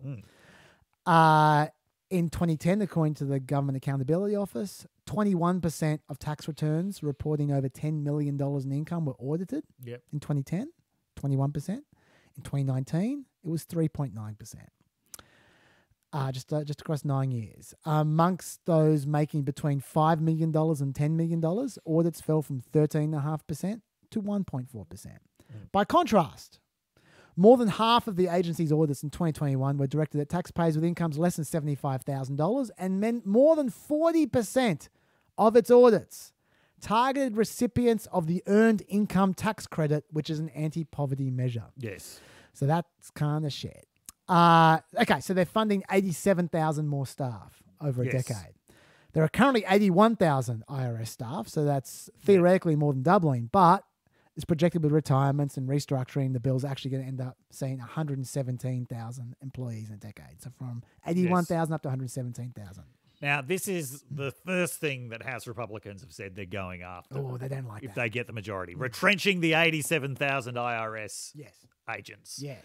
Um, it is very easy to turn, yeah, lack of enforcement of tax laws into a populist crusade. Yeah. The IRS is a deeply unpopular institution. Um, uh, th- yeah. Well, actually, sorry, I don't interrupt you much, but I'm going to interrupt you on that one yeah, because I can know what's coming. Pew poll. yes. IRS, this is a couple of weeks ago, 65% favorability Really? to 29%. Okay, I did not expect that. I didn't expect either. That's why I wrote it down. That is not the boogeyman that we are all led to believe. We hear, we internalize that kind of talk. And so we Ah. assume it is a boogeyman because we just keep on hearing That's- people going IRS, IRS. But pew. Anyway, That keep is- on going. That is very high compared to other institutions of yeah, it's not bad. of government. Yeah. yeah. Yeah. That, I, I imagine that'd be behind the military, but yes. uh, that's yeah, Right, that's on. pretty high. But uh, yes, the fact but- is, everyone everyone thinks it's a liability, and so it's easy to Yep. to to turn to a populist course, as you say. yes, on, yeah. yeah, that's it. Okay, all right. Sorry, I just ruined your point. Sorry. yeah, you did. Thanks, Chas. Happy 100th episode to you too. Well, look, you're certainly right that they're they're they're running a scare campaign. They- in- particular, what they what they've been doing a lot of is eighty-seven thousand armed agents Armed agents. to make them sound scarier. Now, the uh, like it's Yeah. like Biden's goons. You know? Um, first of all, I don't know when having guns became bad. Conservatives. But anyway, um, it's also bullshit. Uh, only a small number of criminal investigation agents get guns. Uh, right now, it's 2,100 agents out of the 81,000. So I suspect it's not 87,000 armed agents. Maybe there might be another one or two thousand. Um, what they, according to the Treasury, and I must admit, I find this a little confusing what I'm about to say. Yeah. But I'm just going to read you what they've said. Of the new of the net new hires, the majority are hired to improve customer services, from upgrading IT to answering phone calls. Uh, they say only 6,500 of the new hires will actually be agents, which seems to defeat the purpose of why they're there Really for. does, but yeah. anyway, anyway, let's leave that aside. This is what I don't understand. Given what I just told you, Yeah. the majority are hired to improve customer services. CRS says out of the $80 billion, $45 billion is for, quote, enforcement activities, $25 billion for operations support, $4.8 billion for business systems modernization, and only $3.2 billion to improve taxpayer services. So I don't know how you can reconcile those two sets of numbers. I don't know. I'm just giving you the numbers. I report, you decide. Um, it's weird to me.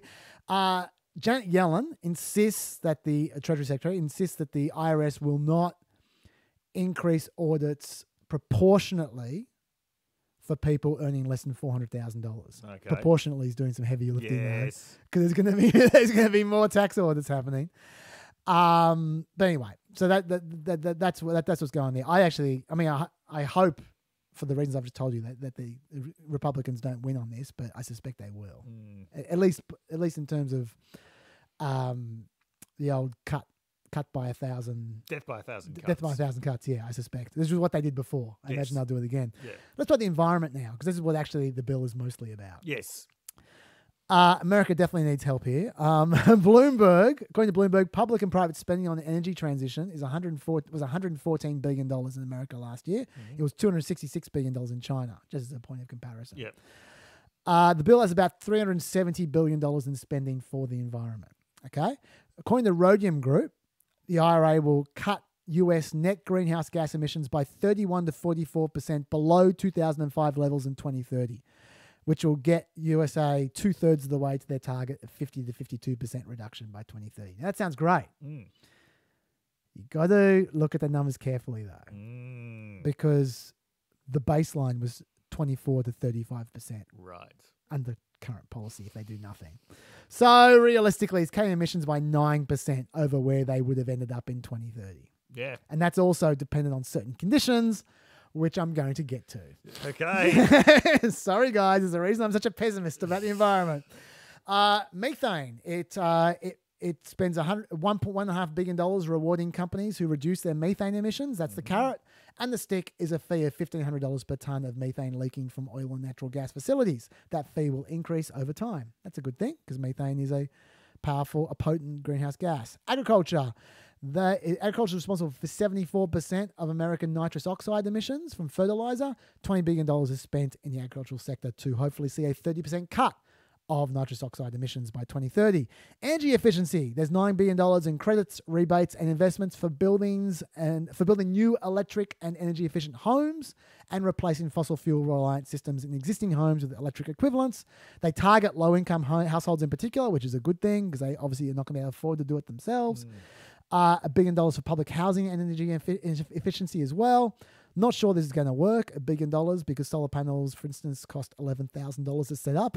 so I'm not sure a, a tax rebate is going to cut it. But anyway, it's there.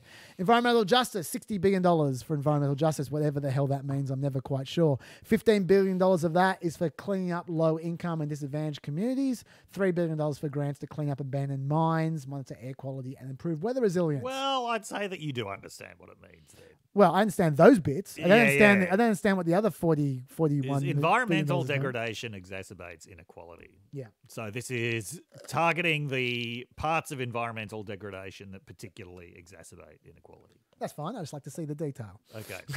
That's, um, that, people throw the phrase environmental justice around a lot these days, and it always makes me a little bit confused. renewable energy. America has a massive problem with re- re- renewable energy. Let me tell you what it is. Right now, the top wind and solar developers plan to build a collective 92,000 megawatts of capacity in the US through 2026. Uh, that would be 8% of total capacity in 2021. Right. What they intend to build over the next five years. Yep. Okay? In 2021, renewables were 27% of total electri- electricity generation capacity. So by 2026, that'd be 35% of all renewable energy replaced if renewable energy replaced non-renewable energy and demand didn't increase. Of course, demand is going to increase, Yes. and of course they'll be replacing old renewable energy as well. Right. Under those trends, it would take until 2067 to create a zero emission grid, even if we assume there's no increase in demand and there's no replacement of old renewable energy. Right. Okay, so they need to accelerate significantly from where they're at. Okay. Um, and demand's going to skyrocket. According to the Department of Energy, simply adding electric vehicles onto the grid alone Mm. is going to increase demand by a third. Right. So that's a lot of increased capacity. Mm-hmm. Okay. So what they what are they going to do? Ninety-eight billion dollars in renewable energy tax credits is what they're going to do. That's that's pretty sizable. It's basically continuing the tax credit for for new renewable energy projects that already exist, mm-hmm. but only if projects meet certain wage and apprenticeship requirements, e.g., union labor. Mm. $27 billion to create a national green bank to leverage private investment. Sounds like sound that sounds useful. $3 billion in new loan authorities uh, for the Advanced Technology Vehicle Manufacturing Loan, aimed at the auto industry in particular. This is electric vehicles we're on now. Big tax credit for electric vehicles. Currently, new electric vehicles get a rebate of $7,500 each, but it's limited to 200,000 rebates per manufacturer. GM and Tesla have already hit their cap, hmm. so there's no more rebates for, for either of them. This will remove the cap and it will also add four thousand dollars extra tax credit, or uh, a four thousand dollars tax credit for used electric vehicles. Mm-hmm. But But is a big but. That's a Sir Mix-a-Lot sized but. Small vehicles need to be less than 55,000. Big vehicles need to be less than 80,000. 40% of the components of cars need to be made in the US or in a US free trade partner to qualify for the rebate in 2024. uh, That includes where the minerals for the batteries come from. right, which is probably not going to be the US. Oh, in it's most not. cases. Oh, it's not. Only 21 of the 72 electric vehicles available in the US are eligible for the rebate through the end of this year. right? Mm. Now, obviously, or hopefully, it will change. But then it gets harder. That's the, the start. Mm-hmm. The year after, they ramp it up by 10%. And they keep on ramping it up by 10% until they get to 80% requirements by 2027. By 2024, any uh, cars featuring any battery components made or assembled by a foreign entity of concern, in other words, China, Mm. are going to be ineligible for the credit. Okay. By 2025, batteries must exclude minerals like lithium or cobalt that come from those countries, i.e., China. China controls 73% of the world's, world's cobalt, 88% of its nickel, and 59% of its lithium. Sorry, 68% nickel, that was, and mm-hmm. 59% of lithium. All of them are essential components of electric vehicle batteries right now. Yes. China produces 76% of the world's electric vehicle batteries. America produces 8%. Most projection, projections suggest America and Europe combined will only account for about a quarter of electric vehicle relevant min- minerals by 2030. Mm. You can't bring those minerals out of thin air, unfortunately. No.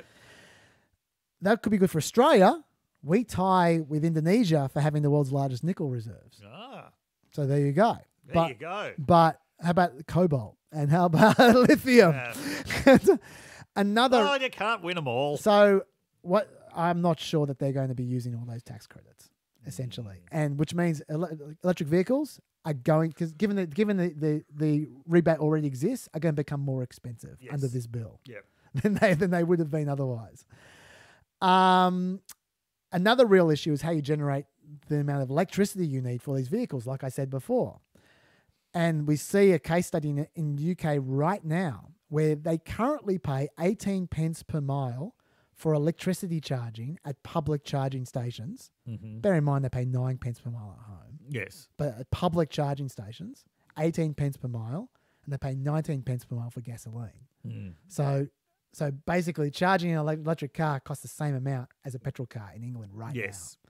now at a public station. I emphasize at a public station. If you do it at home, it's cheaper. Mm.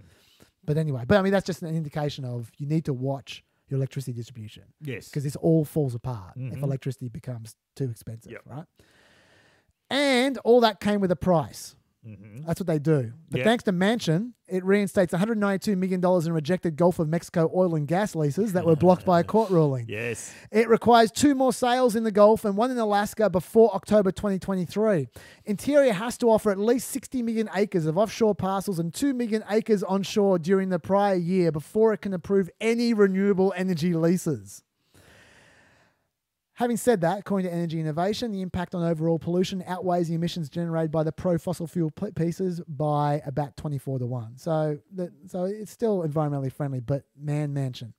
Okay. Um, uh, so that's that's essentially essentially what the bill says, the IRA, and then that takes us to this week, which yep. is the permitting stuff. Oh, can I just quickly mention two other environmental things that are, are Yes, rel- of course you can, Chas. It's our 100th episode. That's true. It's got nothing to do with the, the IRA, but just when we're talking about the environment. By the way, when Chas keeps saying IRA, Inflation Reduction yes, Act. this is not a Republican army. yeah. Um, the the biggest news, actually, there's unadulterated environmentally good news, was the California Air Resources Board last month Required that 35% of their new vehicles sold in 2026 be emission free, Okay. which is yeah. So and 68% of their new cars need to be emission free by 2030, and all new cars sold in California by 2035 be emission free. Wow. California is so big. That's going to affect the whole of America. Yes, that, is, that is effectively California ruling that the whole of America is going to have emission free cars by 2035, Yes. regardless of what the IRA Yeah. suggests. Um, note they're new cars. Yeah. So people, there'll probably be a pretty good market in used cars. Yes. I imagine at that point in time.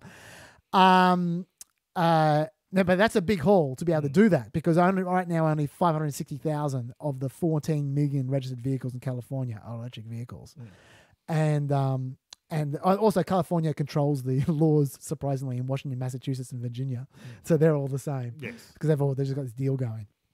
Um, Virginia's, Virginia's trying to get that out of that under Youngkin though. Um, but yeah, basically fifteen percent of the total light light duty vehicle sales in America are, are covered by that Yeah. by that regulation. That's a big deal. That is a big deal. Uh, another big deal is something the Senate just ratified this week, which is the Kigali Amendment, which I bet you haven't heard of because I hadn't heard of it till I read this. I don't think anyone's heard of it. Kigali, as in the capital of Rwanda. Yeah, that's right.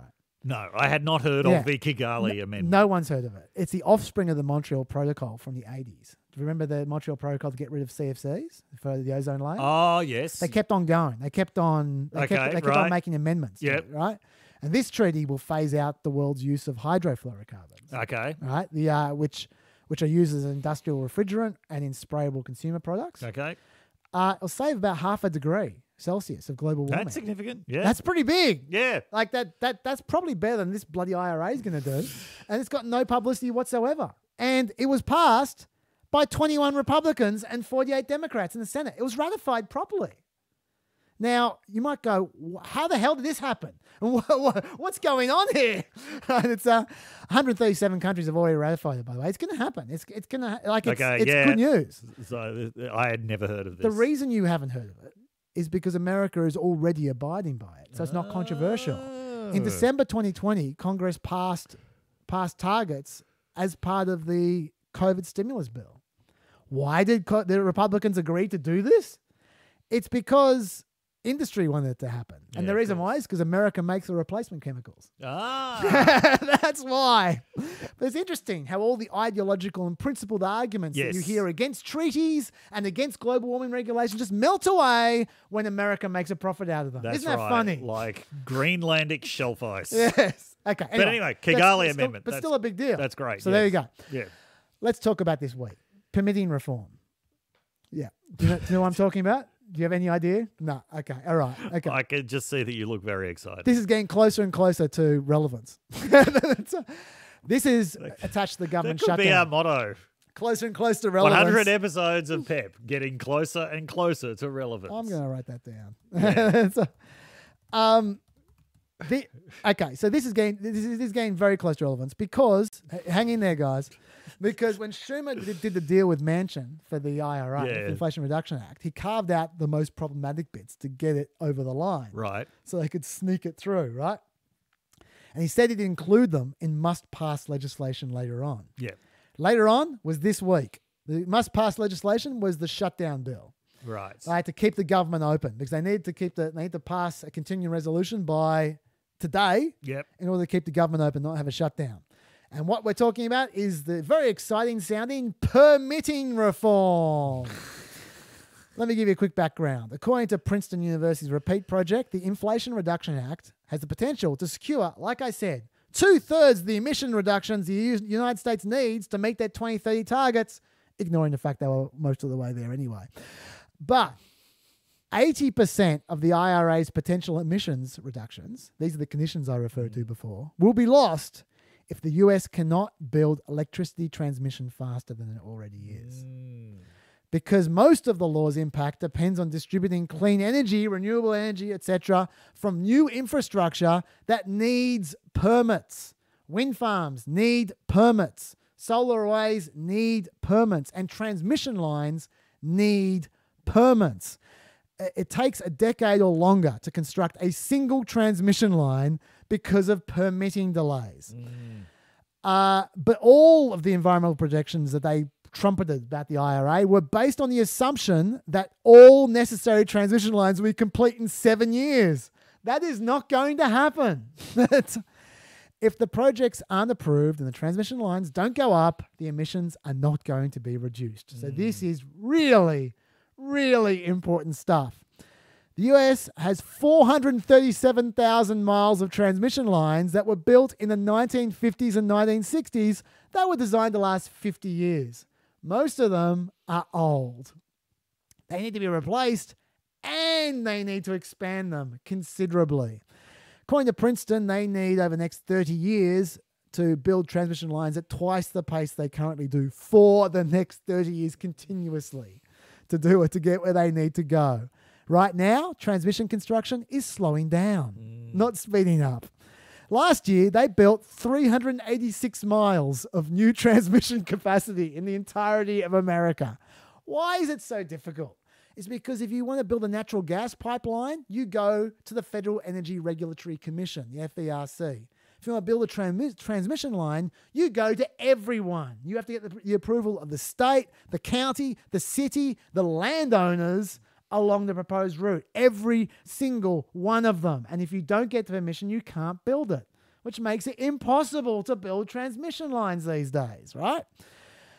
Uh, the uh, and then there are the environmental reviews, which we haven't even discussed yet, because environmental reviews also apply to green projects, right? And so it's not just for fossil fuels. According to the DOE, right now, the Department of Energy, right now, America has offshore wind projects capable of generating 42 megawatts of electricity, with 18,581 megawatts of potential offshore wind power tied up in permitting battles. That gives you an example of where they're at. It So- really does. so, so okay, what does this permitting reform do? Number one, if the project is in the national interest, if the government deems it is in the mm. national interest, it can get approved by the FERC, just like a pipeline can. right. That will make a big difference. Okay. That's good.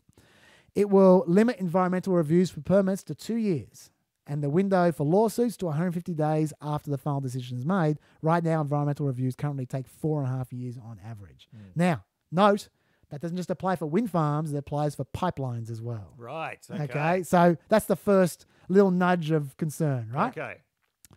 There are also a public list of 25 projects which will be deemed strategically important. That way, won't create shortcuts for those projects, but they will publicly sing- signal what they're most trying to push through. Mm-hmm. And the government will have this is a big one. The government will give the FERC the right to say who will pay for the transmission project. Because right now, everyone tries to pawn off the cost to everyone else because there's a little bit for everyone Yep. and it creates delays and underfunding. Okay. Now, all that is unarguably vital for the environment. Yes. But as always with Joe Manchin, there's a sting in the tail. Yes.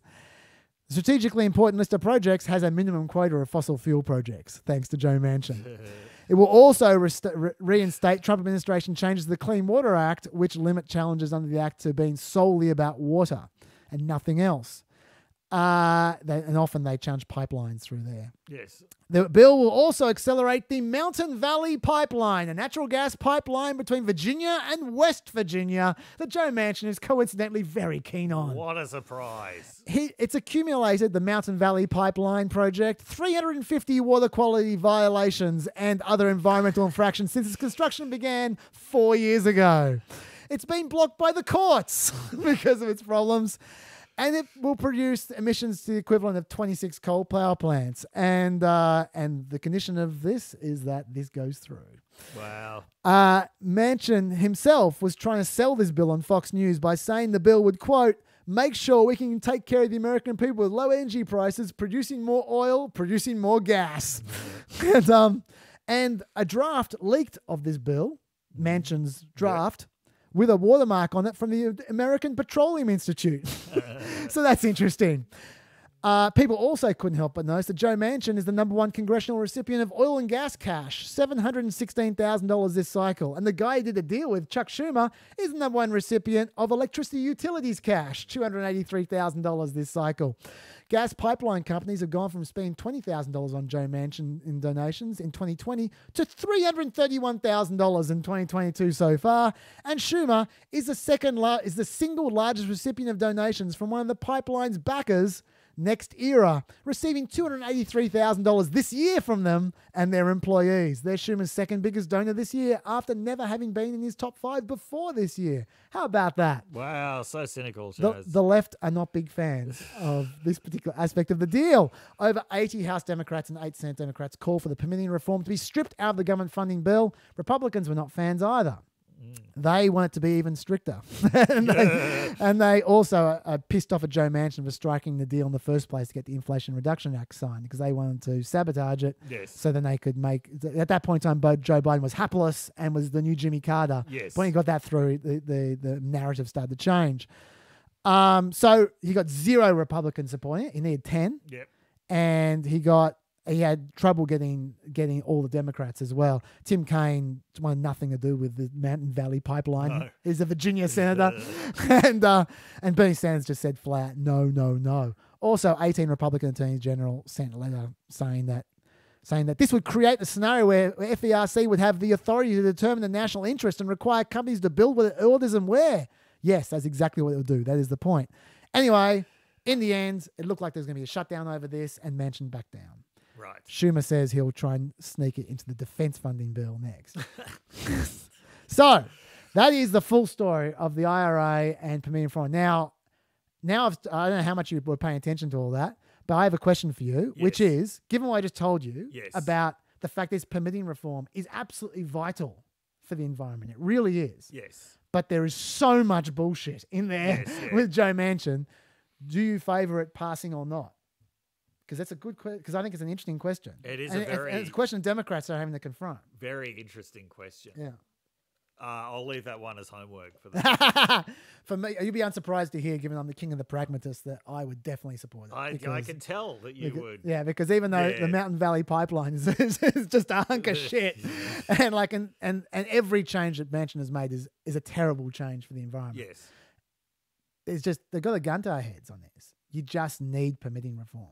If you do not get permitting reform, you will not get what anywhere close to what you need to do to reduce greenhouse gases in America. So it's just just one of those things. Okay. Anyway. But anyway, um, that's enough of that. Okay. You had some. you- There, there. Let's get into the Dave zone now. You want to talk about Cannon, Aileen Cannon? You Oh, want, And you want to talk about Meloni in Brazil? Yes. Okay. Yeah, so, so- uh, Aileen Cannon, the Trump appointed judge in Florida, Yeah. who, as we've mentioned before, Trump actually tries to get her for, uh, yes, for cases. Um, so, her latest intervention in the Trump documents Mar a Lago raid, you might remember, she appointed Raymond Dearie as uh, the special master who was reviewing the documents. Now, we discussed, I think, last week that Raymond Dearie has immediately started going in directions which the Trump legal team doesn't like. Yes. Despite the fact that he was the suggestion of the Trump legal team, though very quickly agreed to by the government. Yes. Um, yes. Among other things, Raymond Dearie has said that given how many times now Trump has said publicly that the FBI planted evidence in Mar a Lago, he has said if you're going to keep saying that, your lawyers actually have to swear to that in court. They have to make a sworn statement that they believe the FBI planted evidence. Yeah. Now, there's obviously no way that they're going to do that. In the same way, they're not going to make a sworn statement that Trump actually declassified documents with his mind or any other tool uh, available to him. But Aileen Cannon has come through for Trump once again in the last 24 hours. This is why I haven't read it yet. She has overruled Raymond Dearie. She has said that Trump's lawyers do not need to swear in court that they believe that the FBI planted evidence. Do we know why? Or Well, the lawyers are claiming, oh, well, we need to review uh, what the FBI has pulled out of Mar-a-Lago first. okay. That you know, how can we make a claim about that before we review it? But that does not stop Trump claiming at every opportunity Yeah. that the FBI has uh, has planted evidence. So, uh, yes, I- Aileen Cannon still behaving exactly as we expected her to, uh, yep, to behave. By the way, you might be wondering why Trump's lawyers are so keen to see these th- this evidence because Yes. every every single motion they they make Yes, relates to wanting to see the the classified files. You might be wondering why they're so keen. Yeah, I can't think of any legal reason why they'd be so keen, but No. a cynical person might suggest that they might want to cherry pick the least offensive documents and to leak them to the press. yes. That's what a cynical oh, person Oh yeah, would yeah. I'm sure. I'm sure. I'm not cynical though, so I would never Yeah. suggest that. so yeah, They probably also don't think that Trump's actually told them what was in there. They they probably just they probably want to find out. Yeah, uh, that's- yeah, well, yeah. I- what was I- in there because it would be helpful, and they know that. Yeah, I, I suspect Trump doesn't know. Like if Yeah. if, if, if it's anything like we've been led to believe, his place is just a mess of documents, just lying all over the place, yes, but not on the floor because he wouldn't do that. No. he was very would clear not about do that. All right, okay, so that's the Cannon update. Uh, tell, floor. tell me about Meloni in Brazil. Yes. So, uh, Giorgia Meloni, the head of the Brothers of Italy party, um, will be the next prime minister of Italy following the elections. Her party got 26% of the vote, so that makes them by far the biggest partner within the right wing coalition hmm. that will take government. There was a very good article in the conversation about this by Duncan McDonnell from Griffith University and an Italian whose name I am forgetting. I'm very sorry, but we'll put it in We the homework. Yep. Yep, um, sent it to me later it's, Uh, yeah. Um, and he's pointed out that this right wing coalition has been around for a long time. So it used to be led by Silvio Berlusconi's Yep. party. Uh, Salvio Martini's party had a, a go at it as well. What he points out is so Meloni's party has its actual roots in fascism. In uh, it's in so-called post-fascism, which is what fascism turned into after fascism had been completely discredited. And he said this coalition has turned into a populist centre-right movement with a far-right edge, which was the Berlusconi version of it, into a populist far-right movement with a centre-right edge. Uh, so that is that is what you've got now. Uh, part of the story is also that the left is doing historically badly in Italian elections at the uh, at the moment. Um, so this comes on the heels of the Swedish election result, which was also won by a right wing coalition, where the Sweden Democrats were the biggest vote getters hmm. within that coalition, I think, with 20% of the vote.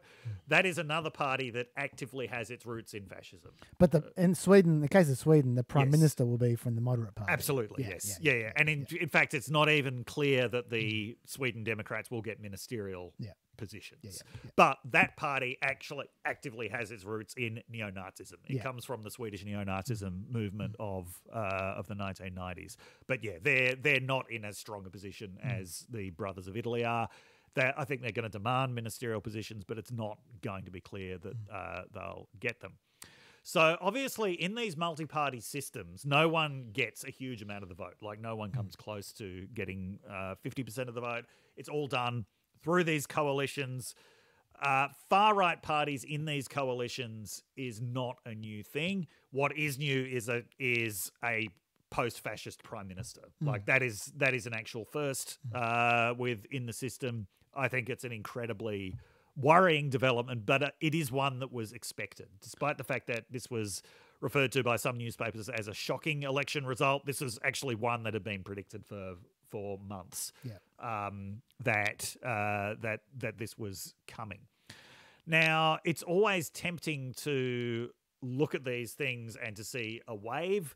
Um, it's uh, you could add to that, you know, Viktor Orban increasing his margin in uh, in Hungary this year. You could also add, so even though um, Marine Le Pen actually underperformed polls in the French presidential election, she's still got a bigger share of the vote uh, in the runoff round this time than the Front National has been able to get. Yeah, Okay. All I, th- I think. Yeah. I am not sure about that. I mean, that one was largely sort of portrayed as a big victory for Macron because of the fact that he overperformed polls, but I don't think he got as much of the vote this time as he got last time. I don't know. I don't know. Yeah. Okay. So I, I, would- I would also I would also throw in it's not I don't think the the right wing populists are doing a great job in Britain at the moment. Well, no. I mean, it- it- this is the thing. It- it's it's never all going in one direction. Yeah, yeah, yeah. Uh, at the time, yeah. Maybe Li- Labor's up like now that Liz, 15%. Liz Truss has completely crashed yes, uh, right. the pound. Yeah. Uh, by the way, I you know this I think is just this is what happens when you have Thatcherism without Thatcher's gravitas. Yeah. You actually see it for what it is. Um, yeah. And social democrats in Germany as well. Yeah, yeah. Let's throw in Social. Yeah. social democrats in Germany won. In Colombia, you got a left wing government Yeah. after years of yeah. right wing rule. In Australia, the Labor Party won. I mean, Yeah. it- it's never all going in No. one direction um, at the same time, uh, which is important. Mm. One of the things that is interesting, though, is that we do have this cluster, um, particularly looking at Hungary and Italy, Yeah. of leaders who had definitely been sympathetic to Putin Mm. in the recent past. Now they have distanced themselves Yeah, not anymore. from from Putin. So Meloni has pretty Yeah, significantly yeah. distanced Yeah, she's she's pretty pro Ukraine. uh, yeah, yeah, yeah, she's very pro Ukraine now. Orban hasn't exactly distanced himself from Putin, but uh, and you know he Hungary's not sending military aid to Ukraine, but at the same time he's and even Marine Le Pen was forced to distance herself from uh, Putin somewhat. And there was a Pew study that showed that among voters of these parties. Uh, favor- favorability to Russia had dropped significantly. I'll put down the homework as well. When I say the homework, uh, for those who don't understand, look in the, on the in the blurb underneath the videos, either YouTube or the Facebook video, and you'll see description of links you can follow. Yes. And I mean, it's not very hard to see how this transformation has taken place. Certainly for a lot of right wing parties for a long time, Putin represented something that they liked, which was this muscular anti liberal alternative uh, to Western liberalism. But the thing about a style of politics that is based on responding to a perceived threat is that for a lot of Europeans, that threat is coming from Putin. And that the invasion of Ukraine turned him from this sort of admirable figure into an actual threat. So that that shift among right wing parties has been pretty genuine. There's been, though, a lot of speculation about how long will it actually last. Uh, you know, as the war drags on, as we discussed earlier in the episode four hours ago or something, given Happy uh. You know, g- given that the US is backing the uh, you know the Ukrainian position of we want all of our land back, it could go on for a very long time. Uh, but as we have also discussed, as we discussed last week, the cracks in solidarity actually seem to be taking place on the other side Hmm. with all of these, uh, with Xi and Modi and Hmm. Erdogan. Um, yeah, uh, backing away from uh, backing away from Putin. Um, so uh, yeah, so uh, basically, I'm saying don't misinterpret this as some kind of uh, pro Putin Yeah, wave, but it yeah. is a very genuine. Um, yeah, and and it's you know it's not the whole world, but there has been this um, uh, yeah this this right wing surge at least in some countries um, in uh, in Western Europe.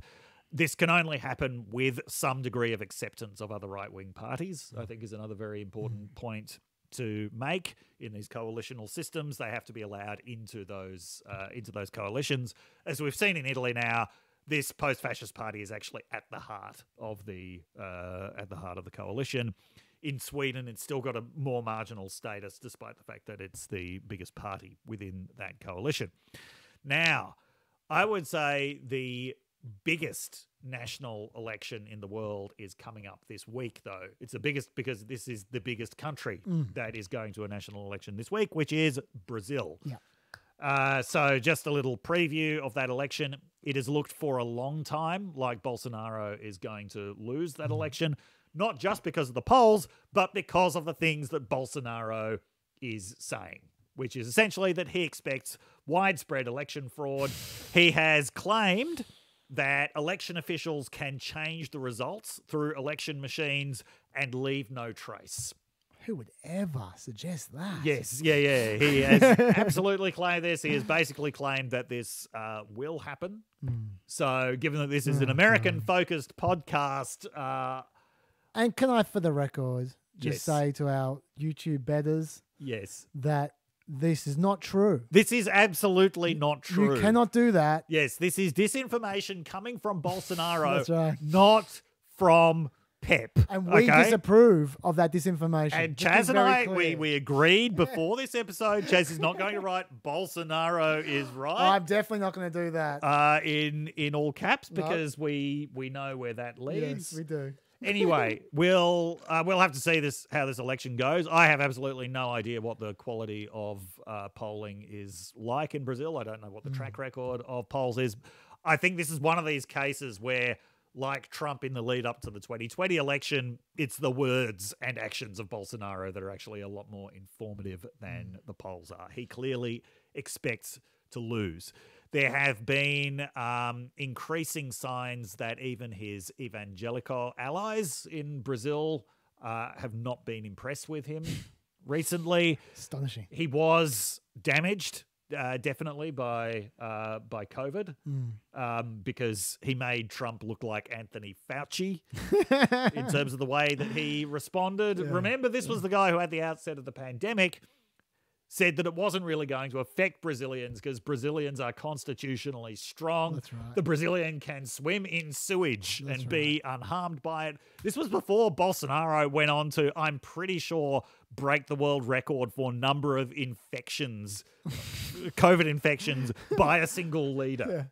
Ca- And can I also say while we're at it that Yeah. it's not true the Brazilians can swim in sewage and Bolsonaro should get vaccinated. Yes. Can I yeah, also yeah, yeah, say yeah. that? This is where, once again, once again, this is Bolsonaro saying these things, Oh dear. not uh, not Pep. yeah.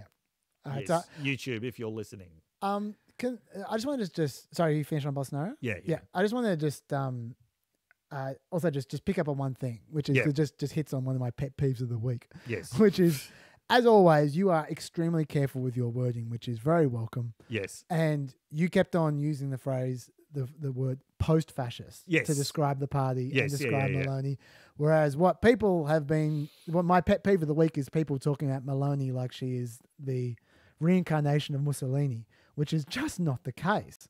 And in particular, I um not that I- I'm not, not like Yeah, I'm, yeah. not like I'm the lone supporter, Yeah, but just in particular, one, one of her major opponents, Matteo Renzi, Yeah. from the centre left, the ex prime minister, he actually was defending her on air, saying, Hmm. "This is just, yeah, I'll just play the grab." Hang on, Is this in Italian? no, That is not a danger for Italian democracy. Uh, she is uh, my rival. I, I'm rival. We will continue to uh, fight each other. But the ideas are now there is a risk uh, of fascism in Italy is absolutely a fake news.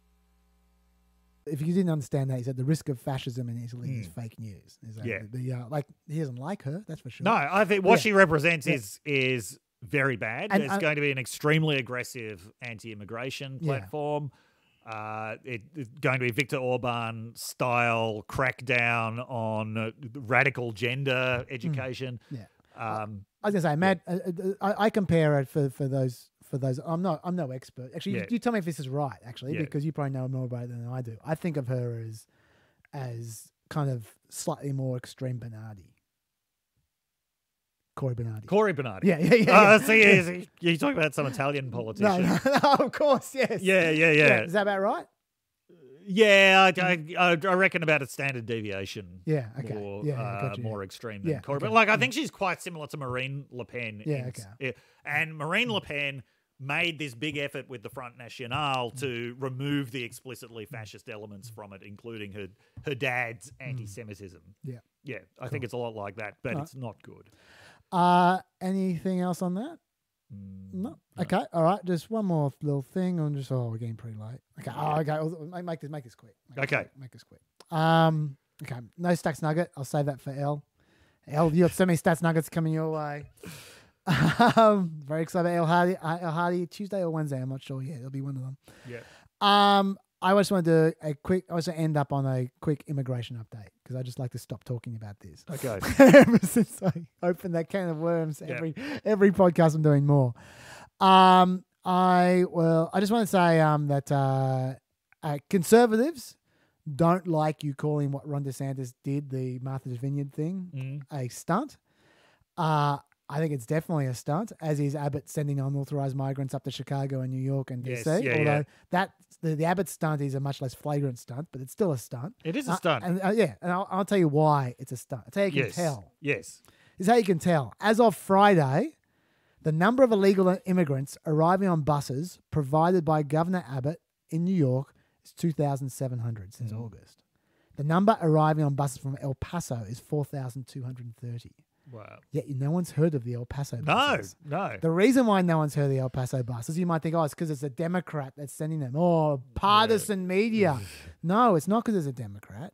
It's because the, a the El Paso mayor doesn't constantly call press conferences about it, and secondly, the El Paso mayor coordinates with New York Yes. for the good of the migrants. Yes. and it's because it's good to share them around a bit, but It do it in a way which is actually in the migrants' favor, so they can be looked after with appropriate facilities. Yes. which is what the guy from El Paso does, so no one cares. Yes. Okay, so that's how you can tell it's a stunt, that they're not doing that. Also, let's not forget the guy who I mentioned once while miles back, who I haven't mentioned since, Doug Ducey from Oh. Arizona, the Yes. governor from Arizona, who's also been seeing migrants in New York and DC, and no one talks about him Yeah. because he gives them notice. Yeah. He doesn't surprise them because he's not being a dickhead. Yeah. And so and so he gets no credit for it. but uh, the, uh, but uh, anyway, so that's an interesting stunt and actually carrying out the migrants Yes. with with bad faith, right? Yes. The, uh, which is what the, the, the acting like you care when you have bad faith. Um, but I also want to give a bit of a correction on this, which is that I was saying that I agreed with Greg Abbott to the extent that blue states need to pull their weight a bit more when it comes to asylum seekers. Mm-hmm. But I saw some numbers Yep. that suggested to me I underestimated how much asylum how many asylum seekers do end up in blue states. Right. These are the numbers. As of late August, nearly 750,000 people are in the system awaiting asylum hearings at this point in time, based on court records from TRAC. Yep. The TRAC is the organisation that do this. More than 125,000 of those 750,000 people are in California. More than 110,000 of those people are in New York. Right. 98,000 of them are in Florida. 75,000 of them are in Texas. Ah. And then the, then the next one's down are New Jersey, Massachusetts, and Maryland. So the blue states are doing their part. Yes. At least the people who are formally in the system doing what you're supposed to be doing. Right. Right. Uh, and I also wanted to make three quick points about immigration from Republicans, all of which I think are fair, which I haven't get, uh, cited before. The um, Okay. one is there is a good reason to sort out the whole highway of unauthorized migrants thing, and that is how much it funds Mexican cartels. That is a real thing. Uh, one estimate from Homeland Security is that the cartels make $13 billion a year from aiding migration. That's Right. up from $500 million in 2018. Yeah. So, like these days, they're doing more more people people moving and people smuggling than drugs. Yes. So the uh, so that's the first thing that, that that is actually a real issue because they're taking over Mexico at the moment. Yes. So yeah, the uh, it's a lot of money. Secondly, it's true that not a lot of people coming over have criminal records. The right like to go on about criminal records a lot. They like to cite numbers like ten thousand seven hundred sixty-three people intercepted in 2021 had criminal records, which is true. Mm. But when you think about it, there were 1.7 million people intercepted. Yes. So as a percentage, it's about six percent, which you know that's not nothing, no. but it's also not swamped by No. criminal records, and also that's criminal records, which could be a lot of things. Yes. they're not all murderers and rapists, No. right? Um, but we need to at the same time acknowledge that the people who are intercepted are least likely to have criminal records. The people with criminal records are most likely to try to avoid the border patrol. Yes. And that's why I remind you of the 500,000 people who, who are called gotaways. Right. The people who avoid the border patrol successfully. Those people are probably, I'm not saying they're all criminals, but I'm saying they're more, more likely to have a higher rate of dodginess for whatever reason. That's why they're avoiding the border patrol. So we do need to acknowledge that Okay. right? Um, and the other thing we need to acknowledge is that there was a recent DHS intelligence report, hmm. supposedly. Yeah. Right. So- uh, no, but you, just- you, you hear about it in newspapers, you don't see the report. you Yes, know? yeah. So, warning the Border Patrol to look out for Venezuelans who may be hiding a criminal record. Because apparently, according to this report, Maduro has been allowing prisoners to leave jails that he thinks will migrate to America. Ah, shades of The Fidel old- Castro. the, the old the old Trump the, the old Trump uh, murderers rapists and then whatever like the uh, I'm not sure they are murderers and rapists but the, I'm just saying that that apparently according to this report some were intercepted in caravans in Mexico a few months yeah, ago. yeah. So anyway, so I just need to just want to flag that because I haven't mentioned that before. It's not always possible to catch people because obviously if they got caught, they wouldn't. They would have their papers. They, they wouldn't have any papers. Mm. Yeah, and, yeah. you know, it's hard to trace. One more thing, and this is actually probably a really important thing, which I should have mentioned before now, but I didn't have the numbers Mm-hmm. until now. If you have any kind of functional system, if you're processing asylum seekers, you need to a process them quickly enough so that you don't ruin the lives of the people who you reject Yes. or B, the the you have to have a system where the people who don't qualify have to leave, or like otherwise ha- have to have there has to be something happen to them. Hmm. Otherwise, then there's no reason for people to to apply. Like that, like you have no incentives to not come. If, Yeah. If if there's no consequences if you if you don't don't qualify for asylum.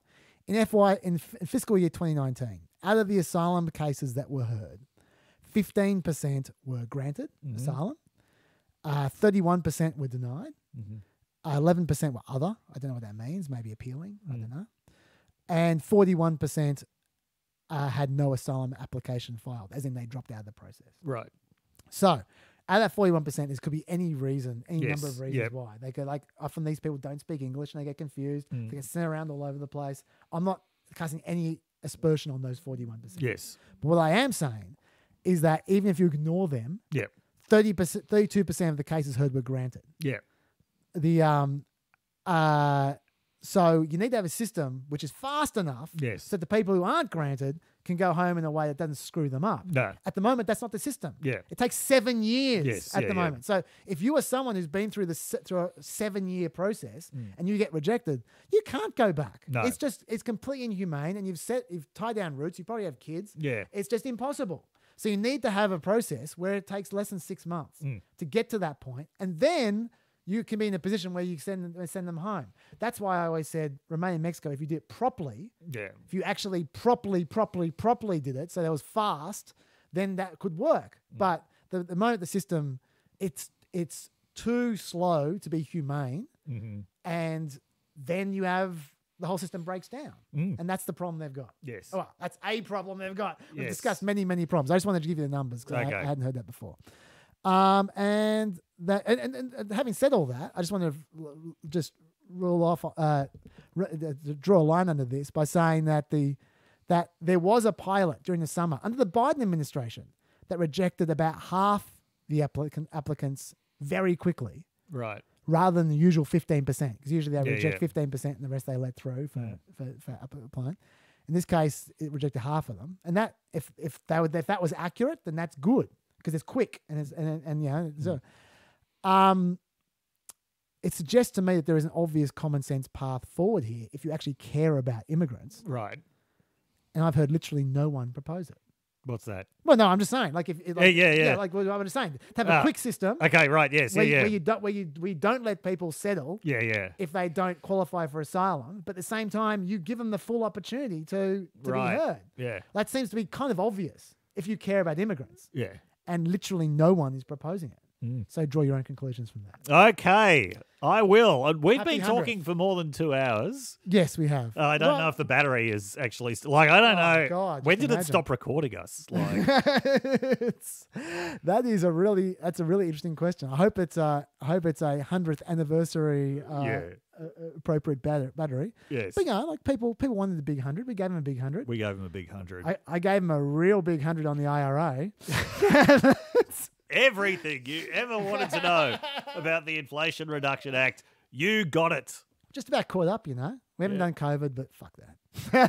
It's, uh, no, we'll do- Everyone's pretending that it doesn't exist. We'll do COVID at one point in time, but just but that, that, that's not much anyway. So um, how's it feel to be caught up on the hundredth? Isn't that exciting? yeah, largely. that's very exciting. Yeah, you don't look excited. No, no, I- I- let's let's get everyone excited on our way out with one more one more run of the unofficial anthem of Pep 100, which is the Space Force theme. I'll just start underneath now. Dr. Dave, thank you very much for these 100 episodes. My pleasure. Thank you very much for these 100 episodes. Thank you for everybody who has contributed. Thank you And for everyone as well. Also and for the corrections. Well, yes. and also to everyone who's listened. Yes, thank you so much. We really do appreciate you, and we Yes. uh, look forward to the next 100. See you, Dr. Dave. See you, Chas. See you guys.